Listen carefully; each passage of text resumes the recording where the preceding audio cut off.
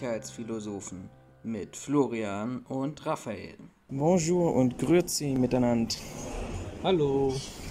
Wir sind wieder die Sicherheitsphilosophen mit Raphael und Florian, auch wenn ihr das im Intro schon gehört habt. doppelt hält besser. Erzähl mal, wo sind wir jetzt gerade? Ja, das ist vielleicht gleich eingehend äh, oder eingehend zur Erklärung. Wir sitzen äh, derzeit am Genfer Flughafen, der noch schöner ist als der BER und die Hamburger Elbphilharmonie zusammen. Ähm, warum sitzen wir hier? Eigentlich Weil wir wollten nur hierher geflogen sind, weil wir endlich mal als erster Ja, genau. deutscher Sicherheitspodcast eine internationale Folge machen wollen. Nee, aber jetzt Wir sind mal außerhalb der EU. Äh, jetzt mal ehrlich, warum sind wir hergekommen? Natürlich wegen der Neutralität und weil wir vor dem Coronavirus in Deutschland geflüchtet sind. Nein, auch das nicht. Sondern eigentlich wollten wir privat uns den Genfer Autosalon angucken, der äh, momentan noch stattfinden sollte. Und wir sind dann mehr oder minder aber vom Coronavirus tatsächlich überrascht worden.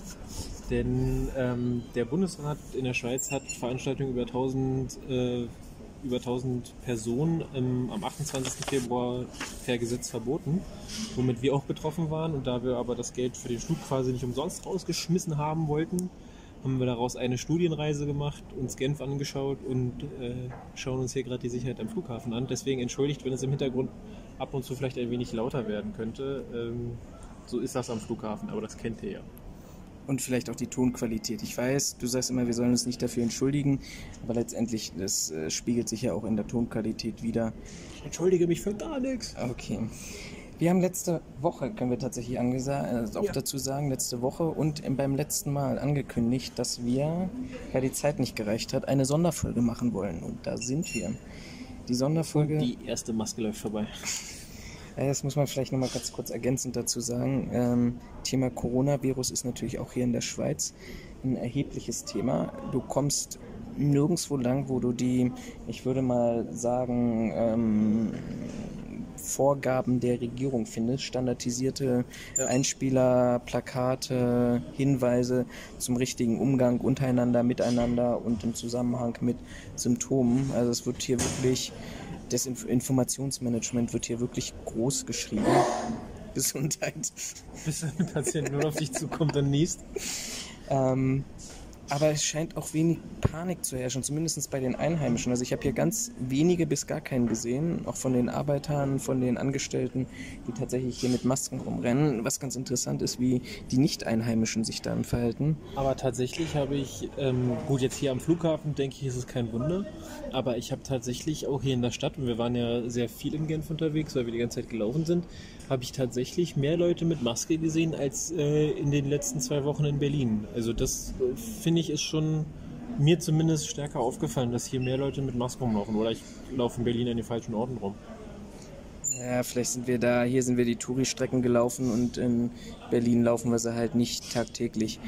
ähm, okay, es beweist aber auch immer wieder, wir sind hingeflogen, der Flug war sehr leer gewesen. Ähm, neben mir saß eine ältere Frau, auch mit wahrscheinlich der größten Maske, die sie gefunden hat. Nicht diese klassischen OP-Masken, sondern die größte. Ähm, und sie hat mir einfach bewiesen, wie sinnlos diese Masken sind. Also klar hat sie die Maske aufgehabt, das fing gut an, ähm, kam dann aber zu den Herausforderungen und zu den Schwierigkeiten, als sie was trinken wollte. Das heißt, sie hat in dem geschlossenen System Flugzeug die Maske abgenommen, dort, wo auch letztendlich die Umluft immer wieder durchläuft mit den Bazillen, mit den Viren oder sonst irgendwas, was da im Flugzeug unterwegs ist. Und parallel dazu, wenn sie die Maske nicht abgesetzt hat, hat sie die ganze Zeit mit ihren Händen ihre Augen gerieben, weil die offensichtlich sehr trocken waren. Ja, junge Frau, Die ersten dann Anzeichen. kann man auch letztendlich die Maske absetzen. Ähm, tatsächlich, ich weiß gar nicht, ob du es mitbekommen hast. Die haben vor Flugbeginn haben sie nochmal angesagt, wegen des Coronavirus soll man doch öfter sich die Hände desinfizieren und auch waschen. Und ich bin der Meinung, sie haben sogar einen ähm, Hinweis der äh, Regierung des Zielflughafens Ja, ähm, mit angegeben. Ich habe ihn zwar nicht ganz verstanden, weil äh, bei unserer heutigen Technologie mit 4 und 8K Fernseher ist ja so ein, ähm, so ein Lautsprecher in einem Flugzeug immer noch hinterwäldlerisch wie in den 80er Jahren. Ähm, aber auf jeden Fall ging es um den Coronavirus. Ich bin der Meinung, um den Zielflughafen, beziehungsweise das Zielland. Ähm, und dass man da auf die Hygiene quasi stärker achten soll als sonst, um die Verbreitungsmöglichkeiten nach, möglich nach bestem Wissen und Gewissen äh, zu reduzieren. Also das ist mir auch aufgefallen. Das kennt man ja sonst, ich sag mal, aus dem Flug Flugzeug auch nicht so. Okay, kommen wir zum Thema dazu. zurück. So viel dazu. Punkt. Äh, kommen wir zum Thema zurück. Wir haben ja gesagt, Sonderfolge Preis versus Qualität heute. Ähm, was, ist, was ist der Hintergrund? Warum wollen wir das machen? Die Zielstellung ist einfach, ähm, wo, wo, weshalb ich dazu kam, war, ähm, was mich momentan störte, was mich in der letzten Woche vor allem störte, war, dass auf Facebook eine, warum auch immer geartete Preisdiskussion wieder starte. gab ein paar Meinungsmacher der Branche, die ähm, sich hinstellten und in irgendwelchen reißerischen Videos den Leuten nach dem Mund redeten. Das muss man tatsächlich so sagen. Das war sicher nicht auch zielgruppenorientiert gewesen, zu sagen, naja, überall, wo was schief läuft, da muss der Preis eine Schuld haben. Ich kenne das selber von meinen Beiträgen, die ich regelmäßig poste, wenn ich darauf hinweise, was bei mir eigentlich letztendlich das Ziel ist, zu sagen, okay, pass auf, da ist ein Fehler passiert, warum ist der Fehler passiert und was können wir am Ende des Tages daraus lernen, ist der, kann ich darauf wetten, dass einer der ersten Beiträge darunter ist, ja, wenn ich den billigsten Anbieter nehme, dann ähm, kann sowas nur passieren. Das ist für mich eigentlich eine recht unreflektierte Situation, eine unreflektierte Meinung, weil ich weiß weder in dieser Situation, was an Stundenverrechnungssatz tatsächlich in diesem Fall angeboten wurde und was nachgefragt wurde, noch weiß ich, wie Dienstanweisungen aussehen, noch weiß ich, wie die Leistungsbeschreibung aussieht und noch weiß ich weder, ob das tatsächlich menschliche Fehler sind und letztendlich arbeiten alle arbeiten wir mit Menschen zusammen. Das heißt, Menschen können einzelne Fehler machen, die auch sicherlich große Auswirkungen haben. Noch weiß ich, ähm, ob das tatsächlich strukturelle, organisatorisch verschuldete Probleme sind. Den Beitrag, den ich jetzt hier kurz mal angesprochen habe, das war ein 20-minütiger Videobeitrag, in dem ähm, ein Absolutismus geschaffen wurde, nämlich gesagt wurde, dass äh, die Qualität zu 100% in Abhängigkeit ähm, zum Preis steht. Pauschalisierungen, die weder mit Statistiken noch mit anderen Zahlen oder Quellen oder sonst was belegt wurden. Ähm, von daher haben wir gesagt, wir wollen uns dieses Thema heute nochmal annehmen, nochmal widmen und einfach mal prüfen, was unsere Meinung da ist. Und ich glaube auch abschließend, zumindest habe ich das vorbereitet, ähm, auch nochmal ein paar Tipps geben, weil das kommt in den seltensten Fällen da. Wie sollen Arbeitauftraggeber Ausschreibungen vorbereiten, ähm, die letztendlich das beste Preis-Leistungs-Verhältnis ja, feststellen, definieren.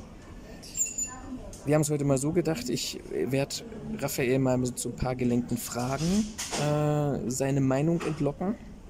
Würde tatsächlich erstmal äh, ganz unverblümt fragen, wenn du jetzt das Thema Preis versus Qualität hörst oder Preis in Abhängigkeit von Qualität oder Preis und Qualität zusammen mit den beiden Begrifflichkeiten. Was ist das Erste, so was du dort mit assoziierst?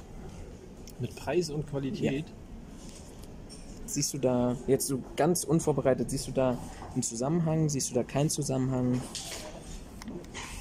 Also ich denke schon, dass in einem gewissen Bereich ähm, Preis und Qualität definitiv miteinander mitlaufen also ich sag mal, proportional zueinander sind. Das wird mit Sicherheit nicht in allen Preissparten so sein, aber ab einem bestimmten Punkt musst du oder solltest du keine Qualität mehr erwarten. Also man kennt das ja, da muss man ja nicht mehr in die Sicherheitsbranche gehen, man kennt es ja auch von, äh, von Produkten.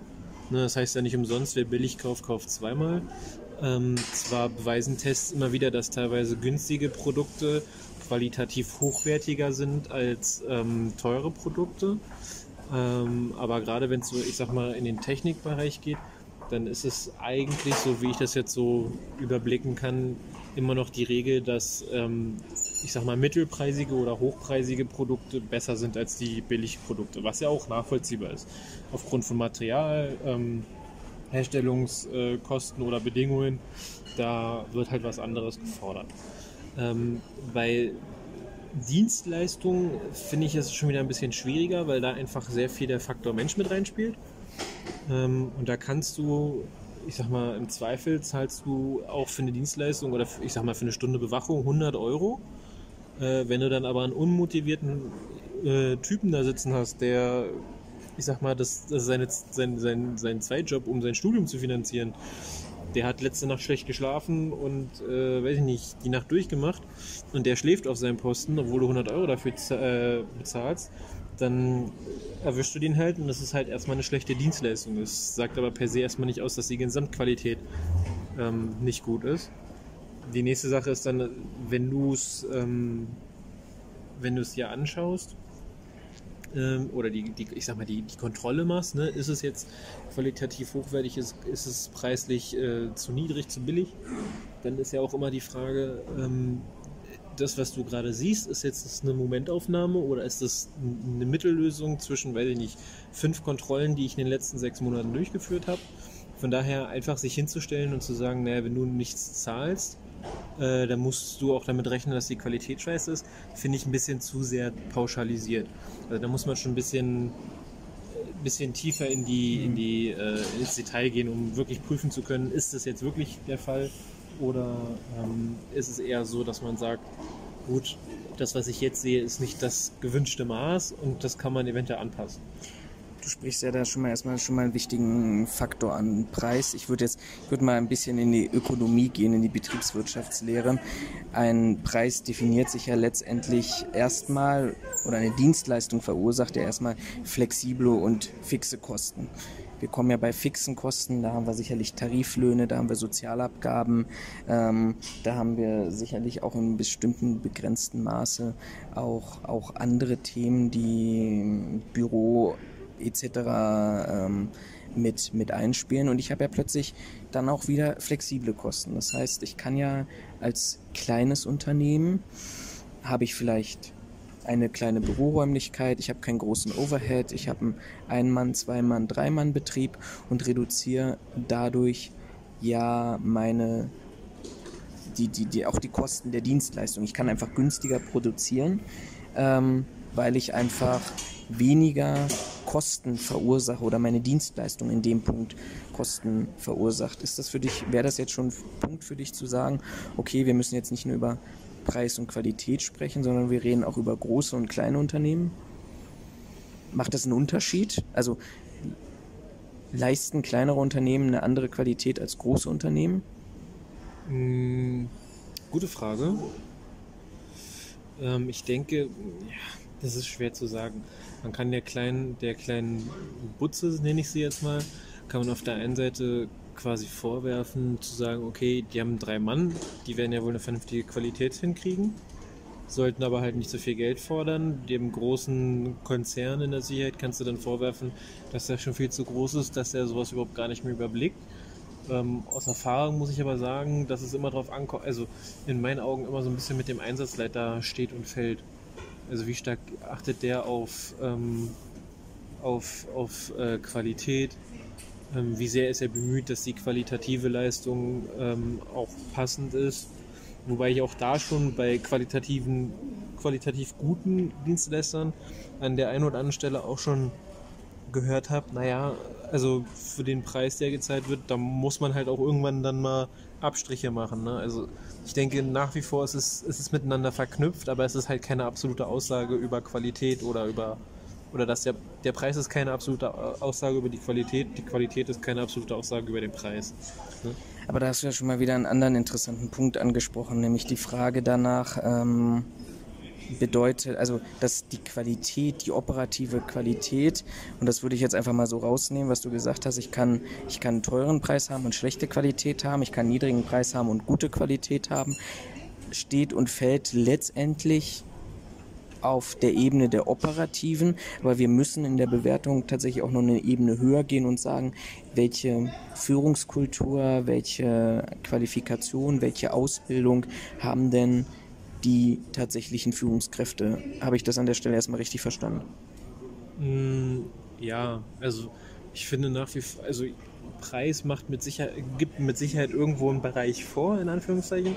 Ich meine, wenn ich 10 Euro für eine, für eine Bewachungsleistung zahle, dann sollte ich nicht mit dem, ähm, sollte ich eventuell nicht da mit dem, mit dem Anspruch rangehen, dass da jetzt, weiß ich nicht, äh, eine hochqualifizierte äh, Fachkraft oder eine hochqualifizierte, also da, da wird keine FKSS oder ein Meister für Schutz und Sicherheit kommen, der äh, mir sämtliche Paragraphen hoch und runter lesen kann und quasi von A bis Z alles auswendig weiß, weil das kann ich für 10 Euro nicht erwarten. Ne? Also da, das ist halt die Sache, was ich meine, es kommt halt immer darauf an, an welchem Bereich ich das ansetze wenn ich mich aber in einem, ich sag mal, vernünftigen Bereich be bewege, wo ich sage, okay, das ist ein Preis, der durchaus gerechtfertigt ist für die Leistung, die ich abrufe, ne? und sei es also jetzt ohne den Unterschied von wegen, wenn ich nicht alle möglichen Sonderdetailleistungen, sondern gehen wir einfach mal davon aus, der soll wirklich, sag mal, drei Stunden da sitzen und im Endeffekt stupide nur darauf aufpassen, dass ein Koffer nicht geklaut wird, um das mal wirklich ganz, ganz, ganz einfach zu machen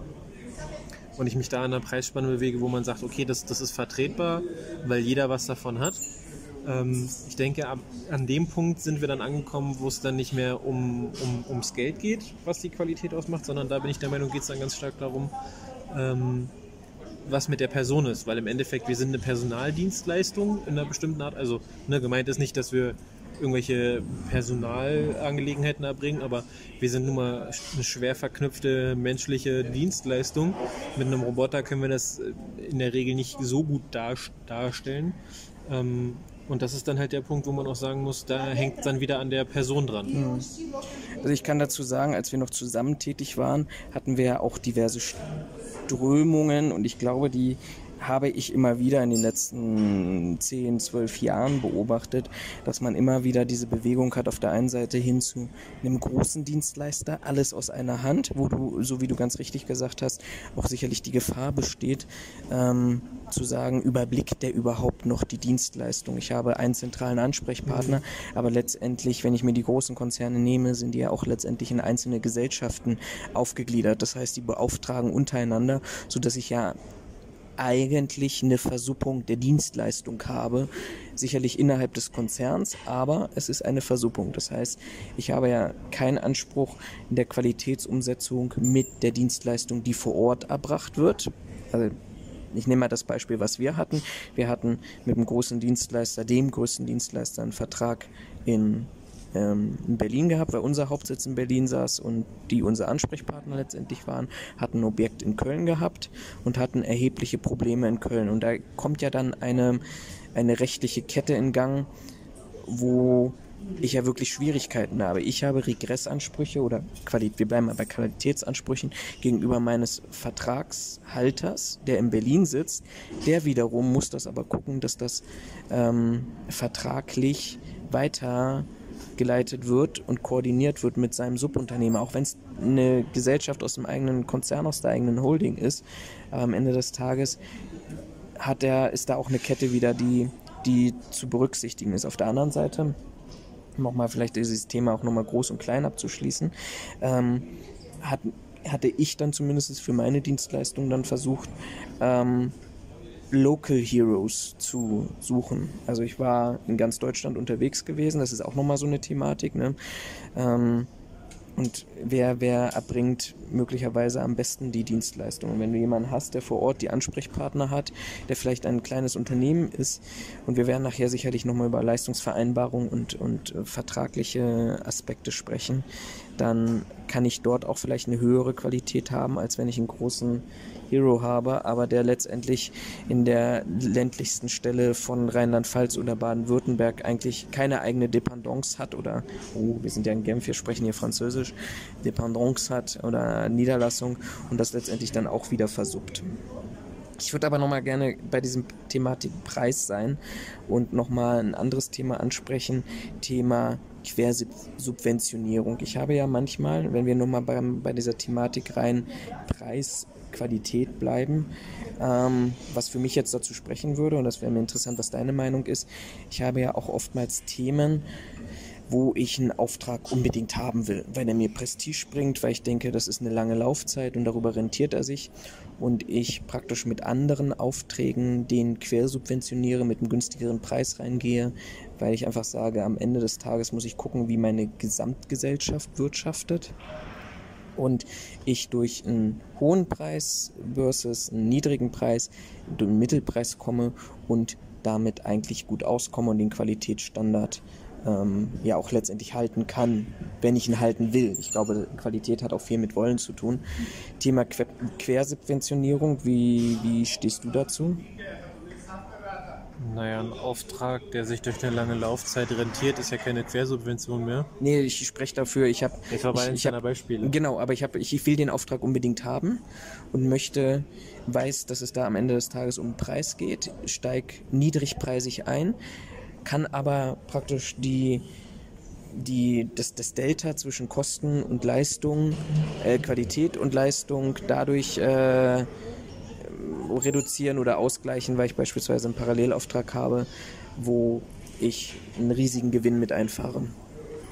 Ähm, witzigerweise habe ich das schon erlebt, dass eine Firma aus Prestigegründen ähm, einen Auftrag haben wollte und mit einem, ich habe den genauen Preis habe ich leider nicht mehr im Kopf, aber er war relativ niedrig, äh, also auf die auf die Einsatzstunde gerechnet. Ähm, und die haben witzigerweise den, äh, den Auftrag damals nicht bekommen, ähm, weil der Preis, glaube ich, damals zu niedrig war. Also es hat einfach Skepsis geweckt. Man hat gesagt, nee, wir bleiben bei unserem Hausdienstleister, da wissen wir, woran wir sind. Auch wenn der dann vielleicht ein bisschen teurer ist. Also da hat das, hat das, das Modell quasi nicht funktioniert. Da habe ich dann auch noch, weil ich den Dienstleister damals gut kannte oder Leute von diesem Dienstleister gut kannte, habe ich im Nachgang sogar noch Anrufe bekommen mit, äh, hier mach mal was, wir wollen den Auftrag haben. Äh, was müssen wir denn da machen? Müssen wir noch mit dem Preis runtergehen? Ähm, insofern, es kann funktionieren. Ähm, ist natürlich so ein gewisses Risikospiel, wenn man schauen muss, ob, ähm, also ob das Prestige oder das, das, das erwartete, der erwartete Erfolg, den man sich von dem Prestige oder von dem, von dem Image, das man damit vielleicht bekommt, ähm, ob es wirklich der Erfolg ist, den man sich davon erwartet hat. Ne? Das ist ja, das ist ja immer so ein, das, das Risikospiel quasi daran. Ne? Im Endeffekt, ich mache eine Misswirtschaft dafür, dass ich dann nach hinten raus eventuell besser dastehe. Das, das muss ja funktionieren. Das hat man ja in vielen anderen Bereichen, hat man das ja ähnlich.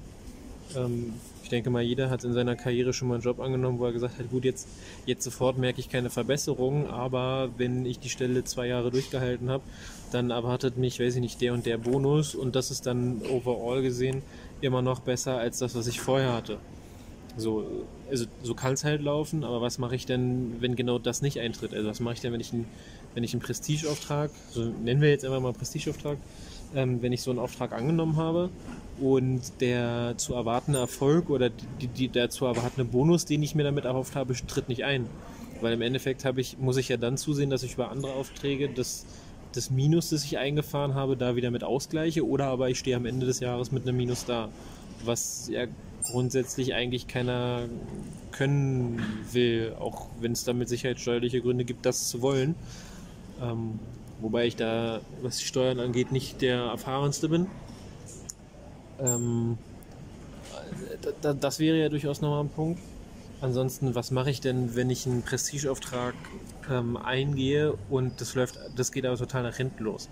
Ähm, ich greife da mal ganz kurz ein. Das ist so ein Thema, was wir letztes Jahr beobachten konnten mit Kötter, Flughafen Düsseldorf und ich glaube, es war Köln-Bonn gewesen, wo man ich, ich würde einfach das als auch tatsächlich als Beispiel nehmen wollen, wo man diesen, diese Aufträge haben wollte für die Fluggastkontrolle. Und man tatsächlich bei, ich glaube, es waren vier oder fünf Jahre Laufzeit, dann festgestellt hat, mit einer preislichen Anpassung, ähm, die man vorneweg nicht einkalkuliert hat, kann man jetzt nicht mehr wirtschaften und dann versucht hat, mit den entsprechenden Behörden und äh, Vergabestellen des Bundes darüber zu diskutieren, ob man eine Preisanpassung durchführen kann, beziehungsweise ähm, was dann offensichtlich nicht möglich war, früher aus dem Vertrag rauszukommen. Ich finde, das ist eine Tendenz, das beobachten wir, das ist halt sehr medial gewesen, aber ich glaube, das kriegen wir auch hin und wieder. Ich glaube, wir haben das sogar auch an einer Stelle schon erlebt in unserer gemeinsamen beruflichen Karriere. Mhm. Ähm, ich habe es jetzt letztens vor allen Dingen nochmal erlebt. Ich steige einfach mit dem Preis ein, wo ich weiß, vor allem auch in der Entwicklung der Löhne, die ja natürlich offen sind, auch bei den Tarifverträgen mit den starken Anstiegen. Aber ich steige damit ein, um unbedingt diesen Auftrag zu bekommen ohne zu wissen, ähm, ob ich den vielleicht in zwei Jahren noch finanzieren kann. Naja, ähm, also ja, wir haben das zusammen auch schon mal erlebt, aber ich finde, so traurig das klingt, aber ich finde, das ist eine gewisse gängige Praxis inzwischen geworden, weil es Unternehmen gibt, die mit einfach einem, ich sag mal in Anführungszeichen, viel zu niedrigen äh, Preis einsteigen, weil sie den Auftrag haben wollen ähm, und im Endeffekt dann nach hinten raus sich hinstellen, wenn irgendwas nicht funktioniert, so nach dem Motto von wegen, naja, aber sie zahlen ja auch so und so wenig, da dürfen sie es nicht erwarten. Wo ich mir sage, ja, das ist aber nicht vertraglich das, was vereinbart wurde, unabhängig davon, welchen Preis du mir gemacht hast.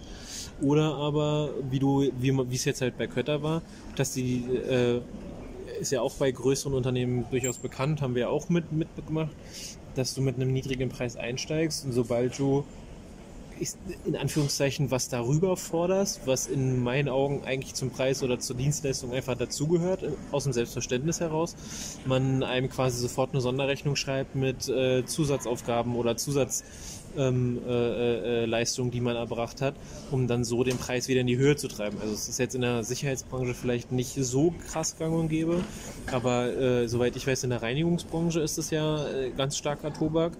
Ähm, Gebäudemanagement ist es wohl auch ziemlich starker Tobak.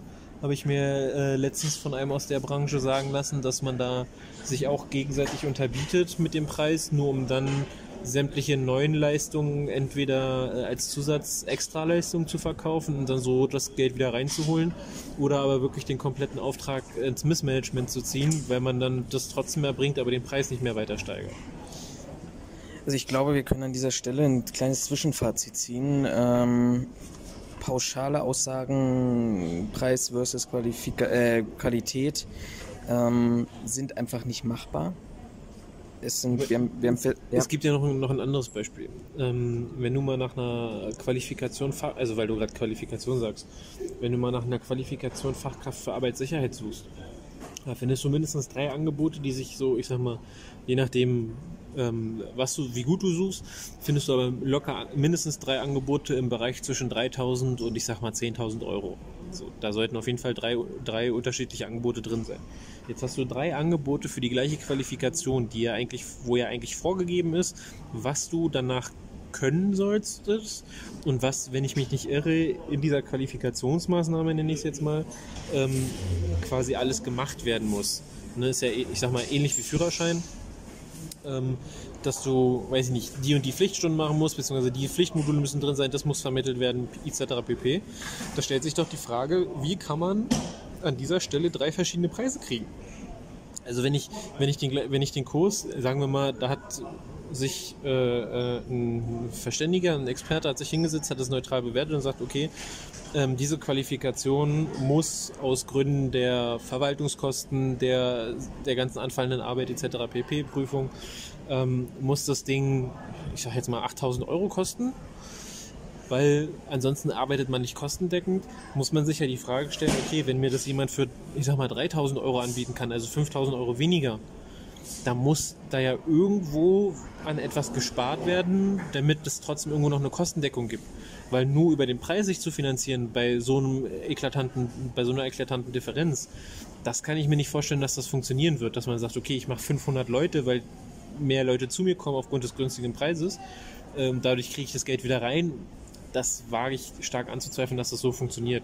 Ja, ich könnte mir schon vorstellen, wenn ich jetzt überlege und sage, okay, ich habe mal Qualifikationsmaßnahme X, bin Einzelunternehmer, ähm, habe einen recht geringen Aufwand, dass ich, dass ich dann natürlich schon einen Unterschied habe, wenn ich, wenn ich jetzt an dem Punkt bin, wo ich sage, ich muss alles das, was ich zur, zur Vorbereitung dieser, dieser Tätigkeit ähm, ähm, noch machen musste, zur Tätigkeitsaufnahme noch machen musste, ähm, die die, die Ausbildungs- und Qualifikationskosten noch mit einrechnen muss, weil die müssen sich ja auch irgendwann ähm, ausgleichen, dann kann ich schon einen höheren Preis haben als was unteres. Dann spielt sicherlich auch der Name eine Rolle. Ähm, den ich am, aber, am Markt habe. Aber wenn du danach gehst, müsste jedes größere Unternehmen den Preis ja eklatant drücken können, weil der Aufwand ja nicht größer wird. Wenn du ständig, ich sag mal, neue Mitarbeiter nach dem gleichen Prozess onboardest, dann ist ja das Prozessmanagement eigentlich dazu gedacht, kosteneffizient zu arbeiten oder Kosten einzusparen. Das würde ja aber bedeuten, nach hinten raus müsstest du die Kosten für ein Onboarding ja quasi gen Null treiben können, was ja deinen Preis am Ende auch auch immer tiefer senken lassen können müsste, aber so funktioniert es ja nicht. Ich glaube, es gibt schon einen Zusammenhang und vor allem auch bei uns in der Sicherheitsbranche. Dass es einen Zusammenhang Dazu- will ich ja nicht bestreiten. Ich, ich, nein, nein, das, das, das sage ich auch gar nicht. Aber ich glaube schon, dass man, wenn man das mal vergleicht damit und dann das sich anschaut und sagt, okay, ein kleines Unternehmen, was auch vielleicht auch einen realistischen Kundenstamm aufbaut mit der Summe X an Mitarbeiter, die sie haben, versus ähm, ein großes Unternehmen, was eigentlich ständig in diesem Rekrutierungsprozess ist, weil es vielmehr eine größere Verpflichtung hat, sich weiterzuentwickeln und ähnliches. Das nochmal im Zusammenhang mit der aktuellen Personalsituation zu bringen, ähm, glaube ich, ist schon ein Prozess. Und der zweite Gedanke ist, wenn ich jetzt in Bad Hersfeld, keine Ahnung, ist aus rein neutralen Gründen jetzt mal Bad Hersfeld genannt, einen Sicherheitsdienstleister habe, ähm, wo ich einfach auch keine Konkurrenz dazu habe, auch was, was das Thema Personal, Abwanderung, Umbewerben etc. angeht. Und ich tatsächlich auch gute Kooperationen mit dem Bad Hersfelder Jobcenter etc. habe, dann habe ich auch vielleicht ganz andere Möglichkeiten zu agieren, als wenn ich in Berlin bin mit, ich glaube, 350, 400 Sicherheitsunternehmen, so und so viel tausend Sicherheitskräften, einer, einer Kannibali Kanni Kannibalisierung äh, untereinander, weil man dann Abwechs Werbeprämien, Wechselvergütung etc. etc. Äh, reinhaut oder anfängt reinzuhauen. Das muss ja auch alles gegenfinanziert werden. Wenn ich, äh, weiß ich nicht, 5000 Euro, was ja inzwischen auch nicht mehr unüblich ist, als, als Wechselprämie zahle, dann muss ich das auf den Preis on top rechnen. Oder netto? Teil, brutto. Teilweise andere zahlen das in Mai. Ich weiß, Kötter zahlt eine Meisterprämie von 1500. Du kannst den Führerschein aussuchen, den du haben willst, oder das Cash auf die Hand haben. Aber wenn ich Kon- in der Konkurrenz stehe zu anderen Unternehmen und ich muss 1500 Euro bis 5000 Euro drauf einrechnen, es muss ja irgendwo gegenfinanziert werden. Und dann haben wir, was ich damit sagen will, ohne jetzt eine große Diskussion, ist das sinnvoll oder nicht, dafür können wir die nächste Sonderfolge machen. Wie akquirieren wir am Markt? Aber das muss ja auch eingerechnet werden in den Stundenverrechnungssatz. Und dann habe ich immer noch nicht über Qualität gesprochen. So, also hoher Preis, glaube ich, sind wir dabei. Mal davon abgesehen, dass ich keine einzige Statistik gefunden habe, die irgendwie festlegt, ja, in den letzten, weiß ich nicht, 700 Ausschreibungen der Stadt Berlin sind 699 ähm, Ausschreibungen oder Vergaben aufgrund des Preises erfolgt ähm, haben wir noch lange nicht darüber über Zahlen, Daten, Fakten gesprochen, weil es sie einfach gibt. Und ich glaube, an dieser Stelle sind Pauschalisierungen falsch. Ich würde nächstes Kapitel, was, also was, was ich ja so witzig finde, weil du es gerade nochmal angesprochen hast, ähm, mit dem äh, Mitarbeiter, mit der Mitarbeiter-Kannibalismus. da werden Prämien, sagst du ja, bis zu 5000 Euro gezahlt oder aber andere anderweitige Kosten übernommen, wie ein Führerschein. Und so ein Führerschein, weiß ich nicht, kann ja bei, ich sag mal, 1500 Euro, 2000 Euro anfangen. Wenn du da aber äh, jemanden hast, der, ich sag mal, lernschwach ist oder langsam lernend ist, dann kann der auch mal schnell doppelt so viel oder auch dreimal so viel kosten im Zweifelsfall. Ähm, ist mit Sicherheit vertraglich geregelt, wie du das dann abmachst, aber im Endeffekt die Preise, also wir, wir haben einmal diesen Mitarbeiterkannibalismus. Jeder versucht irgendwie jedem den, den, den Preis abzu, äh, den Mitarbeiter abzugrasen. Auf der anderen Seite haben wir dann gleichzeitig auch noch einen Auftragskannibalismus, weil jeder will den Auftrag haben, um dann halt wieder wirtschaftlich zu werden. Ähm, zahlt aber in umgekehrter Reihenfolge, um die Proportion mal klar zu machen, zahlt dem Mitarbeiter irgendwie mehr, um den Mitarbeiter zu bekommen, will aber aus dem Auftrag immer weniger rausholen, um den Auftrag zu bekommen. Also ich muss ja von diesem Modell ausgehend, und das ist ja das, was wir jetzt vielleicht nicht überall beobachten, aber so grundsätzlich beobachten, ich muss ja anfangen, alle meine Aufträge irgendwie quer zu finanzieren, weil sie sich selber nicht mehr rechnen, um meine quasi gestiegenen Mitarbeiterkosten ähm, noch irgendwie ein, drin zu haben, meine Verwaltung drin zu haben und am Ende irgendwie auch noch äh, mit einem Plus minus null am besten rauszugehen. Ähm, und da muss man sich halt die Frage stellen, also womit finanziere ich denn jetzt noch quer mit einem Auftrag, der sich selbst rein, also rein finanziell jetzt auch schon nicht mehr lohnt, weil er ja auch schon wieder viel zu, zu günstig quasi äh, akquiriert wurde und er ja querfinanziert werden soll. Also das ist ja, das klingt ja erstmal nach einer riesigen Blase und wenn die platzt, dann hast du halt ein Problem, weil dann ist dein, dein komplettes Unternehmen mehr oder weniger ähm, pleite. Und da reden wir jetzt nur von einem Auftrag und reden nur vom Personal. In der Regel kommt ja dann noch, ähm, ich sag mal, Ausrüstung dazu. Also mindestens, eigentlich mindestens eine PSA oder eine, eine Dienstkleidung, sage ich mal die du ja irgendwo von irgendwas bezahlen musst. In der Regel kommen dann noch Fahrzeuge hinzu, die du zumindest in einem kleinen Kreis brauchst. Wenn du einen Revierfahrer hast, brauchst du so oder so ein Fahrzeug. Da kommt dann, kommen ja bestimmte Wartungskosten und äh, Haltungskosten quasi dazu, also Steuer, Versicherung etc. Dann kommen ja noch die, die normalen, ich sag mal, ähm, geschäftlichen ähm, Kosten hinzu. Also dein, dein, deine, dein BG-Beitrag kommt ja dazu, äh, Versicherung für dein Unternehmen an sich kommt, kommt hinzu, ähm, mögliche äh, Gewerbesteuern kommen ja noch dazu. Ähm, und das musst du ja auch irgendwie finanzieren. Wenn du jetzt nur noch mhm. Aufträge hast, die sich alle gegenseitig querfinanzieren, aber. Nichts mehr finanziert das große Ganze letztendlich. Genau, aber du hast ja quasi nur noch Aufträge, die sich untereinander halten sollen, obwohl die sich quasi gar nicht halten können, weil jeder ist, auf den, ist für den nächsten aufgebaut dann stellt sich mir halt die Frage, wie willst du nur am Ende des Tages dann noch äh, vernünftig arbeiten? Mhm. Na, einfach nur, um von dieser Preisspanne mal auszugehen. Wenn wir jetzt sagen, ich würde das tatsächlich als Zwischenfazit nehmen, pauschale Aussagen sind nicht möglich, nicht machbar. Kostenstruktur des Unternehmens ist, spielt eine gewisse Rolle. Ähm, welche Erwartung habe ich, welche Führungskultur, welche Philosophie habe ich? Ähm, würde ich mal ins Kapitel 2 rübergehen und sagen, wer trägt denn eigentlich in dieser Diskussion Preis versus Qualität am Ende des Tages die Verantwortung? Ist es der Sicherheitsdienstleister oder ist es vielleicht nicht doch der Auftraggeber? Da würde ich fast sagen, es ist der, äh, der Sicherheitsdienstleister, also der die Verantwortung trägt, einfach mit dem Hintergrund, ähm, wir müssen beim Kunden davon ausgehen, dass der von der, von der, ähm, von der Branche, von der Sparte keine Ahnung hat das ist ja höchstwahrscheinlich auch der Grund, warum man überhaupt diese Leistung outsourced, weil im Endeffekt sich Dienstleistungen irgendwo einkaufen ist ja nichts anderes als das klassische Outsourcing, was ja in der Regel oder nicht in der Regel, aber was ja durchaus dadurch kommt, ich habe von dem Bereich kein, ich habe in dem Bereich keine Kernkompetenz, ich habe von dem Bereich keine Ahnung, also lasse ich es jemanden machen, der davon Ahnung hat und bezahle ihn dafür. Im Endeffekt, das ist ja nichts anderes als eine Dienstleistung sich jetzt hinzustellen, zu sagen, naja, der Kunde hat aber die, die Verantwortung oder Mitverantwortung dafür, dass, ähm, dass wir, äh, äh, dass die Qualität stimmt, würde ja bedeuten, dass der Kunde auch eine Ahnung davon haben muss, wie Qualität im Sicherheitsbereich aussieht. Und grundsätzlich dem Kunden diese Verantwortung zu, zu drehen, würde ja um das mal an einem kleinen Beispiel festmachen, wenn ich mein Auto in die Werkstatt bringe zu einer, ähm, weiß ich nicht, zu einem TÜV oder äh, weil jetzt wieder Inspektion ansteht, würde das ja gleichzeitig bedeuten, dass ich zumindest soweit mich mit dem Auto auskennen müsste, um zu sagen, ja, passen Sie mal auf. Also ist zwar große Inspektion, aber Bremsflüssigkeit machen wir diesmal nicht, weil ich habe letztens erst gemessen und da ist noch nicht, der, der hydroskopische Anteil ist noch nicht so hoch, dass wir die Bremsflüssigkeit tauschen müssen. Macht ja keiner.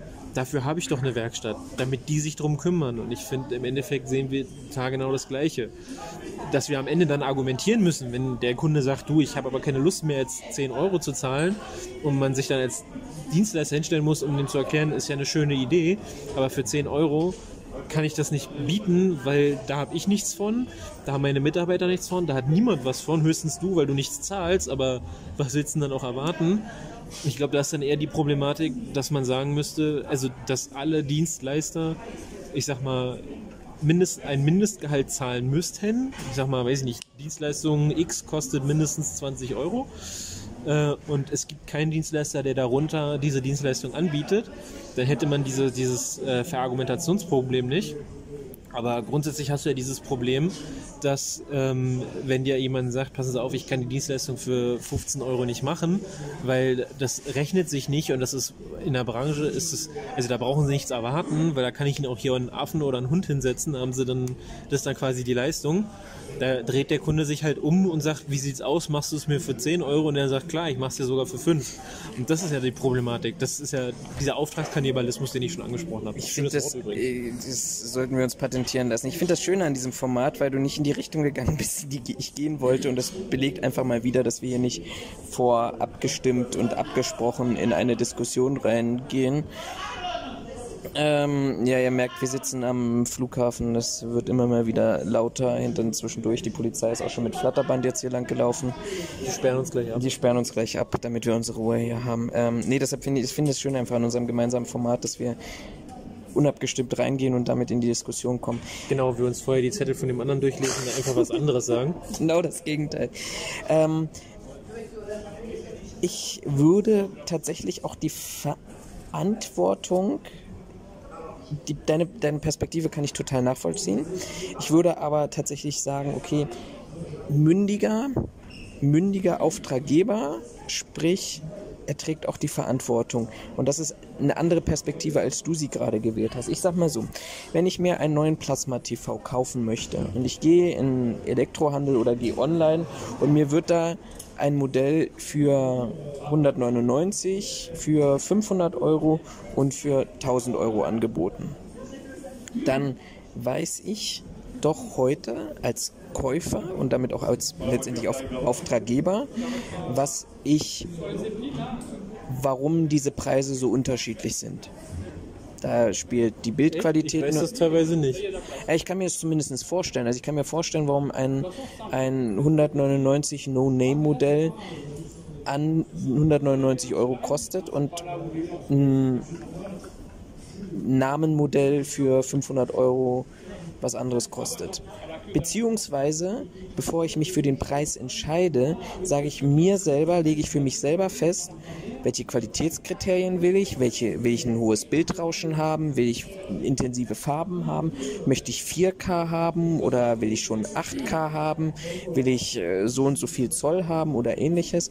Und gehe ja nicht rein und sage dem Verkäufer, du was will, muss weg und für wie viel kriege ich das günstigste, sondern ich gucke und sage, das, was meinen Anforderungen an die Qualität an dieses Gerät am nächsten kommt und ich ins beste Preis-Leistungs-Verhältnis komme, das Gerät nehme ich. Und ich weiß aber selber, wenn ich sage, ich möchte 8K haben, habe aber nur 199 Euro übrig, dass ich nicht das, was ich eigentlich haben möchte, 499 Euro bekomme. Aus der Perspektive kannst du da meinem Gedankengang folgen, wo ich hin möchte? Ich kann ihm folgen, aber ich finde, der Vergleich hinkt trotzdem. Ähm, mit dem einfachen Hintergrund, dass wir äh, von Geräten ausgehen und nicht von der von der. Äh, Aber ich bin ja auch kein Fernsehtechniker. Also du hast ja vorhin gesagt, auch zu Recht gesagt, wir leben in einer Welt, wo die Auftraggeber in den seltensten Fällen Ahnung haben davon, welche was, was für Anforderungen an eine, Dienst, an eine Sicherheitsdienstleistung sind. Ich bin aber auch kein Fernsehtechniker, aber ich weiß, ich, ich beschäftige mich in meinem privaten Umfeld damit, was möchte ich denn eigentlich haben? Könnte man diese Erwartung nicht auch an den Auftraggeber haben und zu sagen, was möchte ich denn eigentlich für eine Dienstleistung haben und in welcher Qualität soll die erbracht werden? Mm, ja, man könnte diese Erwartung haben. Nur wenn du den, also da geht es ja schon los, wenn du den Dienst, wenn du den Kunden als Dienstleister ansprichst und sagst, passen Sie auf, wir machen das wie folgt. Ähm, Sie sagen mir erstmal, was Sie überhaupt haben wollen und dann kann ich Ihnen auch einen Preis stricken. Läuft ja meistens darauf hinaus, dass mir der Kunde sagt, ja, ich will, dass das sicher ist. So, und damit habe ich nicht gewonnen. Aber hat er dann nicht eine 10 Euro Dienstleistung verdient? Also wenn der Kunde mir das nicht definiert, dann aus einem, Service, aus einem Servicegedanken heraus würde ich sagen, nee, hat er nicht. Also klar, okay, ich, kann, ja. ich kann es arschlochmäßig machen und sagen so, ach so, sie wollen, dass hier bewacht wird. Na klar, dann setze ich den, den nächsten Affen, den ich finde, hier hin und dann zahlen sie auch nur die 10 Euro. Aber damit ist keiner glücklich. Ich bin nicht glücklich, weil im Zweifelsfall ist mein Ruf im Arsch, weil der Kunde sagt, was ist denn das für ein Blödsinn, der mir hier angeboten wird. Ne, also ich habe ja. nicht gewonnen. Im schlimmsten Fall hat der noch Connections zu anderen, ähm, zu anderen Firmen in der gleichen Branche und macht mich schlecht, weil ich einfach ihm zugegebenermaßen auch einfach nur Mist verkauft habe, muss man in dem Beispiel jetzt einfach mal so sagen. Der Kunde ist nicht zufrieden, weil er sich ärgert. Oder aber ich habe Glück und der Kunde kriegt es nicht mit, weil es ihn sowieso nicht interessiert. Aber im Zweifelsfall ähm, ist keiner zufrieden. Ich bin nicht zufrieden, habe einen Schaden. Mein Kunde ist äh, nicht zufrieden, will mich vielleicht wieder loswerden. Also es gibt nur Quälereien. Und statt da an dem Punkt einfach mal zumindest in Deutschland anzusetzen und sagen, passen Sie auf, ähm, wir machen das mal serviceorientiert. Ähm, wir arbeiten mal aus, was sie haben wollen, was sie brauchen und dann gucken wir, dass wir da irgendwie zusammenkommen. Geht man halt hin und sagt entweder mein Preis ist X, der Kunde sagt, das ist mir aber zu teuer, dann sagt man, alles klar, dann gebe ich dir Preis Y und dann sagt der Kunde, alles klar, dafür ist es in Ordnung. Und man sagt sich intern, ja gut, aber wenn ich X nicht kriege und nur Y, dann kann ich die Qualität auch entsprechend runterschrauben, weil ist ja nicht mehr das, was mein eigentlicher Verkaufspreis ist, wenn man so will. Mhm. Bei Technik, finde ich, funktioniert das so nicht. Weil wenn, also jetzt an meinem Beispiel, ich bin auch kein Fernsehtechniker. Ich habe, ich muss zugeben, ich beschäftige mich mit der ganzen, ganzen Thematik relativ wenig. Weil wenn ich jetzt mal um beim Beispiel Fernsehen zu bleiben, mir einen Fernseher kaufe, dann geht es mir darum, ist es ein Smart TV, über den ich mir, weiß nicht, YouTube, Netflix und Amazon Prime angucken kann? Äh, ja, nein, vielleicht. Äh, hat er die geforderte Bildschirmgröße und schafft er für mich jetzt HD Plus, weil ich brauche kein 8K. So, dann gucke ich, ob mein Fernseher, den ich mir da rausgesucht habe, das hat. Nach Möglichkeit soll der auch möglichst günstig sein, weil ich bin kein TV-Fetischist und dann hat sich die Sache für mich gegessen und ich gehe damit 300 Euro raus. Aber du hast deine Anforderung definiert, darum geht's mir. Gen- genau, klar. Du, du beschäftigst dich mit in einem Metier, in einem Thema, aber auch sehr wo du oberflächlich. dich nicht also nicht ich, auskennst. Wenn, wenn, wir jetzt von mein, wenn wir jetzt von meinem Beispiel, was ich gerade gesagt Genau. habe, ausgehen, ist das sehr oberflächlich. Ich habe aber auch Bef äh, Bekannte, die äh, wollen einen neuen Fernseher haben, weil der alte schon älter ist. Der funktioniert wunderbar. Man könnte den weiter benutzen. Er hat, ist auch Smart TV, hat eine gute Auflösung, äh, pipapo, hast du nicht geschossen. Ähm, wollen aber ein neues Gerät haben und dann geht's los. Der muss curved sein, der muss 4K können, der muss äh, Smart TV, gut, das ist heute Standard. Der muss aber auch einen bestimmten Bildwert haben, der muss eine bestimmte Pixeldichte haben, der muss einen bestimmten Schwarzwert haben. So tief kann es auch gehen. Aber dann, ne, der definiert auch seine Anforderungen, ist dann halt entsprechend teuer, stellt sich dann aber hin und sagt, naja, der kostet jetzt, wenn ich ihn haben will, kostet der mich 8, oder weiß ich nicht, 899 Euro. Das ist mir aber zu teuer, na, ich warte noch drei Tage. Der hat jetzt, ich glaube, knapp ein halbes Jahr ungefähr, äh, hat er immer wieder geguckt und zu Weihnachten dann im Endeffekt hat er sich gesagt, naja, jetzt war der 200 Euro runtergesetzt, habe ich mir den genommen. Nee, im Endeffekt hast du bei dem Fernseher einfach nur darauf gewartet, dass der Stand der Technik veraltet ist und man den Preis einfach runtersetzt. Ähm, hast zwar 200 Euro gespart, den Fernseher später gekriegt, hast jetzt den, den du haben willst, aber im Endeffekt hast du wirklich gespart, weil deswegen habe ich gesagt, Technik, Technikvergleich hinkt ein bisschen, weil so schnell liebig wie die Technik ist, hat er jetzt quasi einfach nur bezahlt, dass äh, die Technik älter ist. So, und das kann man bei einer Dienstleistung, finde ich, funktioniert das so nicht, weil du nicht nach zwei Jahren Bewachung sagst, okay, heute ist eine Bewachung weniger wert oder mehr wert als die Bewachung von vor zwei Jahren. würde ich dir widersprechen, weil ich glaube, ich kann, wenn ich, wenn ich mir überlege, wir haben ganz klassisch angefangen. Als ich angefangen habe, war dieses Thema personelle Dienstleistung total auf dem Vormarsch, also beziehungsweise war State of the Art gewesen. Setz den Mitarbeiter 24-7 irgendwo hin ähm, und dann passt das so. Als ich auch angefangen habe, haben wir mit zumindest die, die damals im BDSW organisiert waren, 5,25 Euro die Stunde bekommen. Als ich raus bin, zumindest aus der operativen Sicherheitsdienstleistung, waren wir irgendwo bei 9, 10 Euro, ge- 9 bis 10 Euro, nicht 19, 9 bis 10 Euro gewesen, irgendwo dazwischen lag der Tarif. Das heißt, ich hatte Kunden gehabt, die sich dann hingesetzt haben und gesagt haben, Herr Horn, ich sage Ihnen ganz ehrlich, da sitzt der gleiche Mitarbeiter. Nein, er ist älter geworden, er schwitzt mehr, er ist dicker geworden, wie vor fünf Jahren da und hat, kriegt das Doppelte an Lohn. Wie kriegen wir die Dienstleistung optimiert? Und da sind wir ganz bei vielen Objekten, und das war ja auch so ein Trend, der in den letzten Jahren auch eingesetzt ist, zu gehen und zu sagen, wo kann ich denn, was uns auch gut gekommen ist, weil dann hatten wir die Flüchtlingskrise, Asylbewerberheime etc. etc. Da brauchten wir irrsinnig viel an Personal. Jetzt wissen wir, Ist ähm, gelaufen. es ist scheiße gelaufen in vielen Teilen. Wir wissen aber genauso, ähm, dass wir kurz nach der Flüchtlingskrise die Leute alle wieder auf den Markt gesetzt haben, die was anderes gesagt haben und wir jetzt 13.000 offene Stellen haben. So.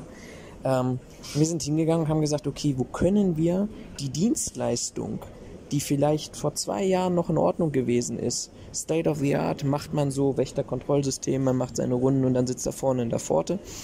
Wie können wir die jetzt optimieren? Und wir haben in den simpelsten Objekten, wo du niemals auf die Idee gekommen bist, was anderes zu machen, haben wir Substitute, würde man klassisch wirtschaftlich sagen, eingesetzt und haben geguckt, dass wir gesagt haben, dort, wo, das, wo die Reduzierung der Dienstleistung, also der Aufgaben ist, ob wir dort nicht in eine Techniküberwachung kommen.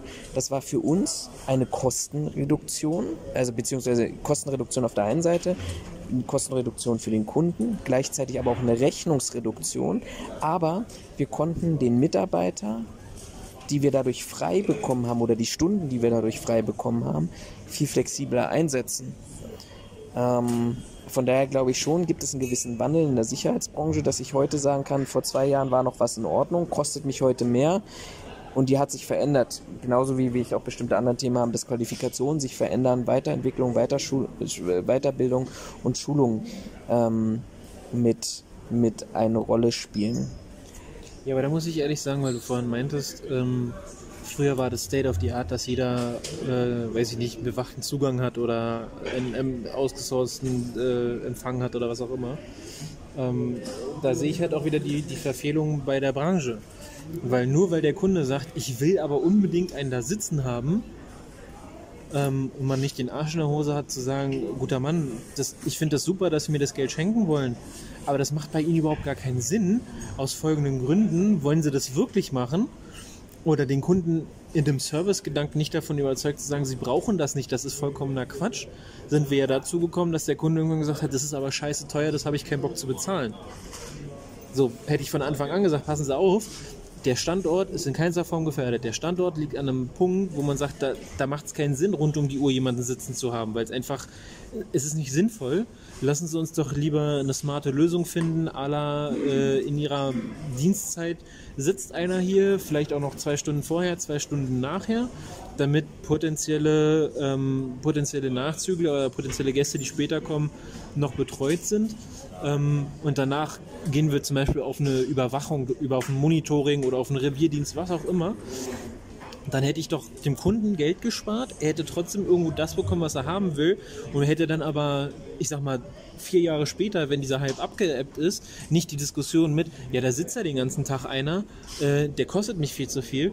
Wie kriege ich das jetzt eigentlich hin, äh, dass da weiterhin einer sitzt, der aber mich weniger kostet? Weißt du, was ich meine? Ja, du hast ein, ich will jetzt nicht sagen, sehr idealisiertes Bild. Ich, ich verstehe deinen Dienstleistungseinsatz. Die Frage ist halt, und deshalb bin ich eher, bist du der Dienstleister muss ertüchtigt werden, vom, würde ich jetzt mal so zusammenfassen, der Dienstleister muss ertüchtigt werden, ähm, praktisch eine bessere Beratung durchzuführen. Es ist, es ist halt immer ein Geben und ein Nehmen. Also ich kann mich als Dienstleister nicht hinsetzen und sagen, naja, der Kunde, der wünscht jetzt aber eine 24-7-Bewachung mit Personal und mich dann aber drei Jahre später wundern, dass der Kunde mir sagt, das ist mir aber viel zu teuer, das müssen wir jetzt ändern, sehen Sie zu, äh, statt von vornherein vernünftig ins Gespräch zu gehen und ich sag mal auf einer irgendwo auf einer, auf einer partnerschaftlichen oder Kompromissbereitschaften ähm, äh, Ebene mit dem Kunden was zu machen, was dem Kunden wirklich adäquat hilft. Weil das ist ja das, was nicht passiert ist, sondern der, der Dienstleister setzt sich hin und denkt sich, geil, kriege ich ordentlich Schotter dafür, dass ich wieder einen hingesetzt habe und macht sich überhaupt gar keinen Kopf. Also da fehlt ja das ja, Weiterdenken. Ich, da, da sage ich, da müsste man sagen, okay, komm, ich meine, wenn ich dem Kunden erkläre, dass das für ihn keinen Sinn macht, aus, ne, wenn ich ihm das vernünftig erkläre und auch so, dass er das nachvollziehen kann, auch wenn er nicht aus der Branche kommt, weil man Argumente hat, beziehungsweise weil man, weil man ihm klar machen kann, dass man das für äh, unverhältnismäßig ähm, sieht, weil es vielleicht auch keine Forderung daraus gibt. Und der Kunde sagt dann immer noch, ich will das trotzdem, weil ich das gerade geil finde. Klar, dann habe ich mein Bestes getan. Dann kann mir auch keiner vorwerfen, dass mein, dass mein Service scheiße ist. Aber so grundsätzlich sich hinzustellen, zu sagen, der Kunde fordert äh, drei Mann, obwohl einer es auch tun würde. Und man nimmt es stillschweigend einfach so hin, freut sich ein Cola-Keks, wenn man drei Leute verkauft hat, auch wenn die alle zusammensitzen und quasi die ganze Zeit äh, am Handy rumspielen und muss mir dann x Jahre später anhören, dass das eigentlich total doof ist und man, dass der Kunde total unzufrieden ist, weil die drei Leute die ganze Zeit nur rumsitzen, quasseln und am Handy rumspielen. Naja, also da brauche ich mich dann auch nicht wundern, wenn es dann nach hinten losgeht. Also da sehe ich das, das ist das, was ich mit der Verantwortung beim Dienstleister meine. Ja, und ich, ich, ich sehe, aber das ist ja schön, dass wir auch mal getrennter Meinung sind, unterschiedlicher Meinung sind. Ich sehe einfach die Verantwortung beim, beim Kunden auch. Nicht nur ich, ich kriege das, wofür ich bezahle, ist das eine. Aber ich glaube, wir müssen, und ich glaube, da sind wir, wir Deutschen auch ganz stark da drin zu sagen, das ist mein privates Umfeld. Da achte ich da drauf, auch wenn ich mich nicht auskenne. Da gehe ich, das ist ja aus meiner Sicht auch in ganz anderen Situationen so. Da gehe ich sorgsamer mit meinen Einrichtungsgegenständen, mit meinen mir zur Verfügung gestellten Ausrüstungsgegenständen etc. um oder mir selbst gekauften. Und das ist mein berufliches Umfeld. Da mache ich es mir so einfach wie möglich. Und ich glaube, da müssen wir den Kunden auch stärker ertüchtigen, ähm, ein klares Bild davon zu haben, was er denn eigentlich haben will. Und wir müssen die Kompetenz, die Bestellerkompetenz auch erhöhen. Ich würde mal Kapitel 3 aufmachen und fragen, wenn wir nochmal zurückgehen bei dem Thema Qualität, und darum geht es uns ja heute, wann spielt der Preis keine Rolle mehr? Wann der Preis keine Rolle mehr spielt. Äh, wenn er so utopisch hoch ist, dass es. Äh, Von vornherein ausgeschlossen ist. nee, ich meine, bei einem hohen Preis, also jetzt mal gesponnen, selbst wenn du 50 Euro die Stunde zahlst, heißt das lange noch nicht, dass die Qualität gut ist. ja. Also in meinen Augen. Also ich finde, der Preis spielt immer dann keine Rolle mehr, wenn die objektiven Anforderungen in einer Leistungsbeschreibung, in einem Leistungsverzeichnis so hoch oder der, nein, der gewünschten Dienstleistung angemessen sind, sodass ich praktisch die Preisuntergrenze allein dadurch definiere, was ich für Anforderungen auf objektiver Seite an den ähm, Dienstleister habe.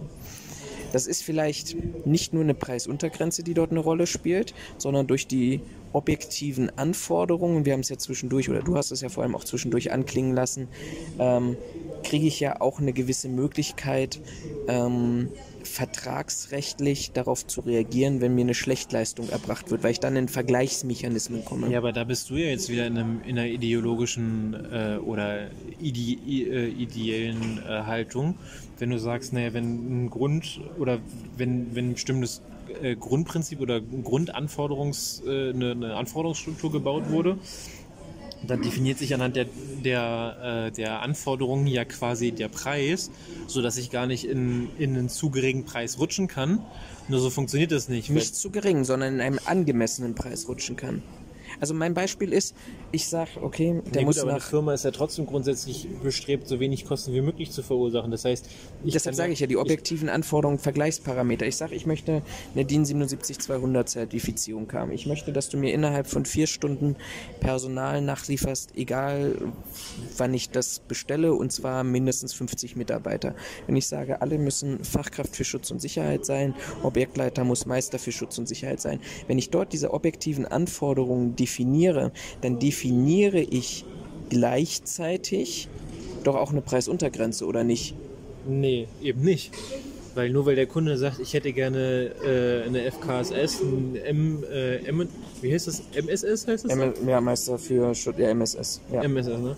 Ähm, nur weil ich dann noch Meister haben will und weiß ich nicht, alle müssen mit Funk ausgerüstet sein, äh, weiß ich was zum Tonus, heißt das lange noch nicht, dass der Kunde sagt, das ist auch, das bin ich auch bereit zu zahlen.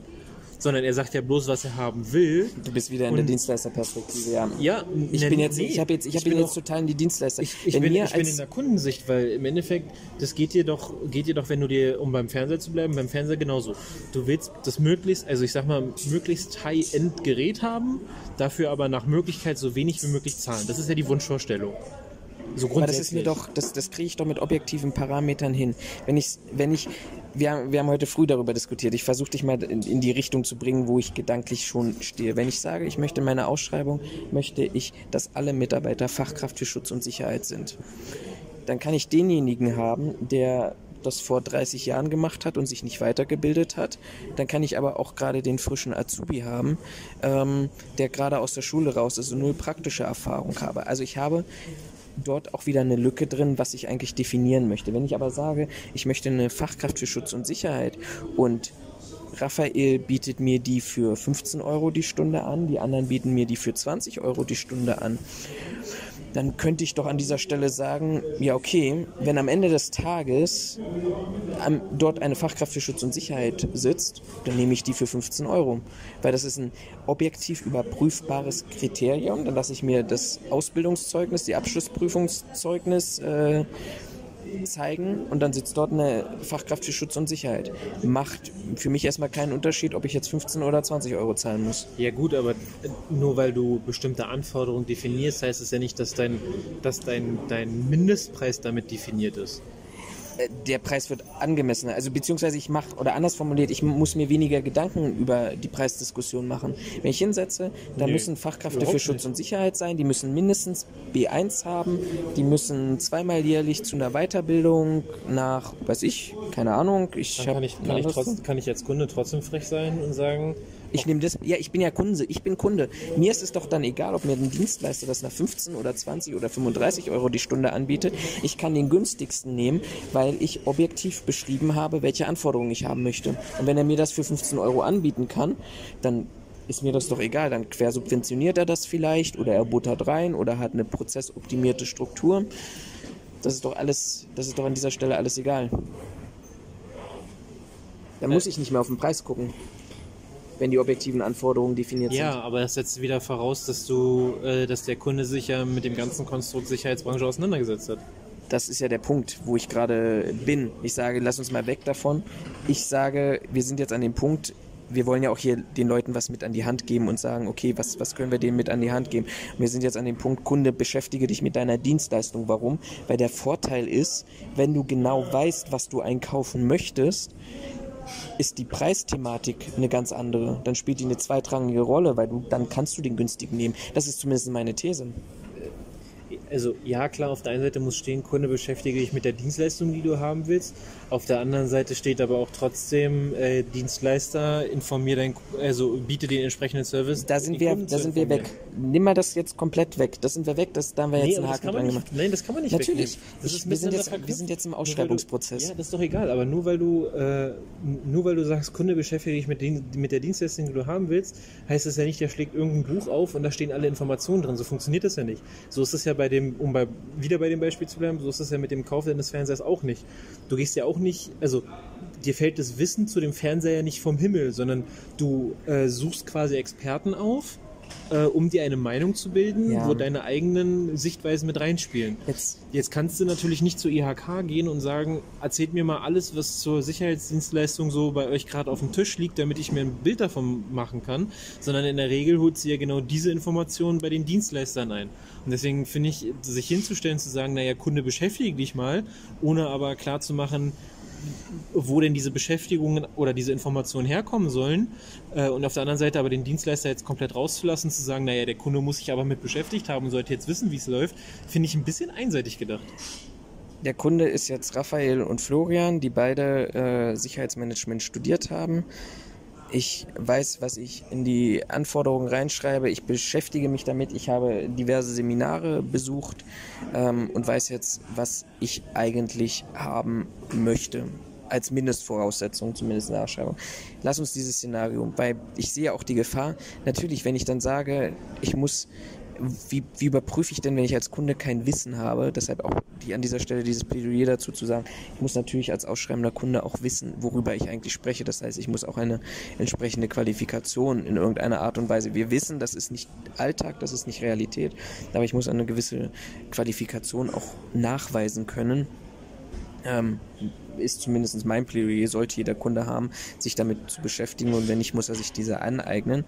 Ähm, aber jetzt gehen wir mal rein von dieser These aus oder die Fragestellung. Wenn ich objektive Anforderungen stelle, egal woher sie kommen, muss ich dann noch auf den Preis achten oder kann ich den günstigsten nehmen? Mm. Man sollte meinen, dass man den günstigsten, günstigsten nehmen kann.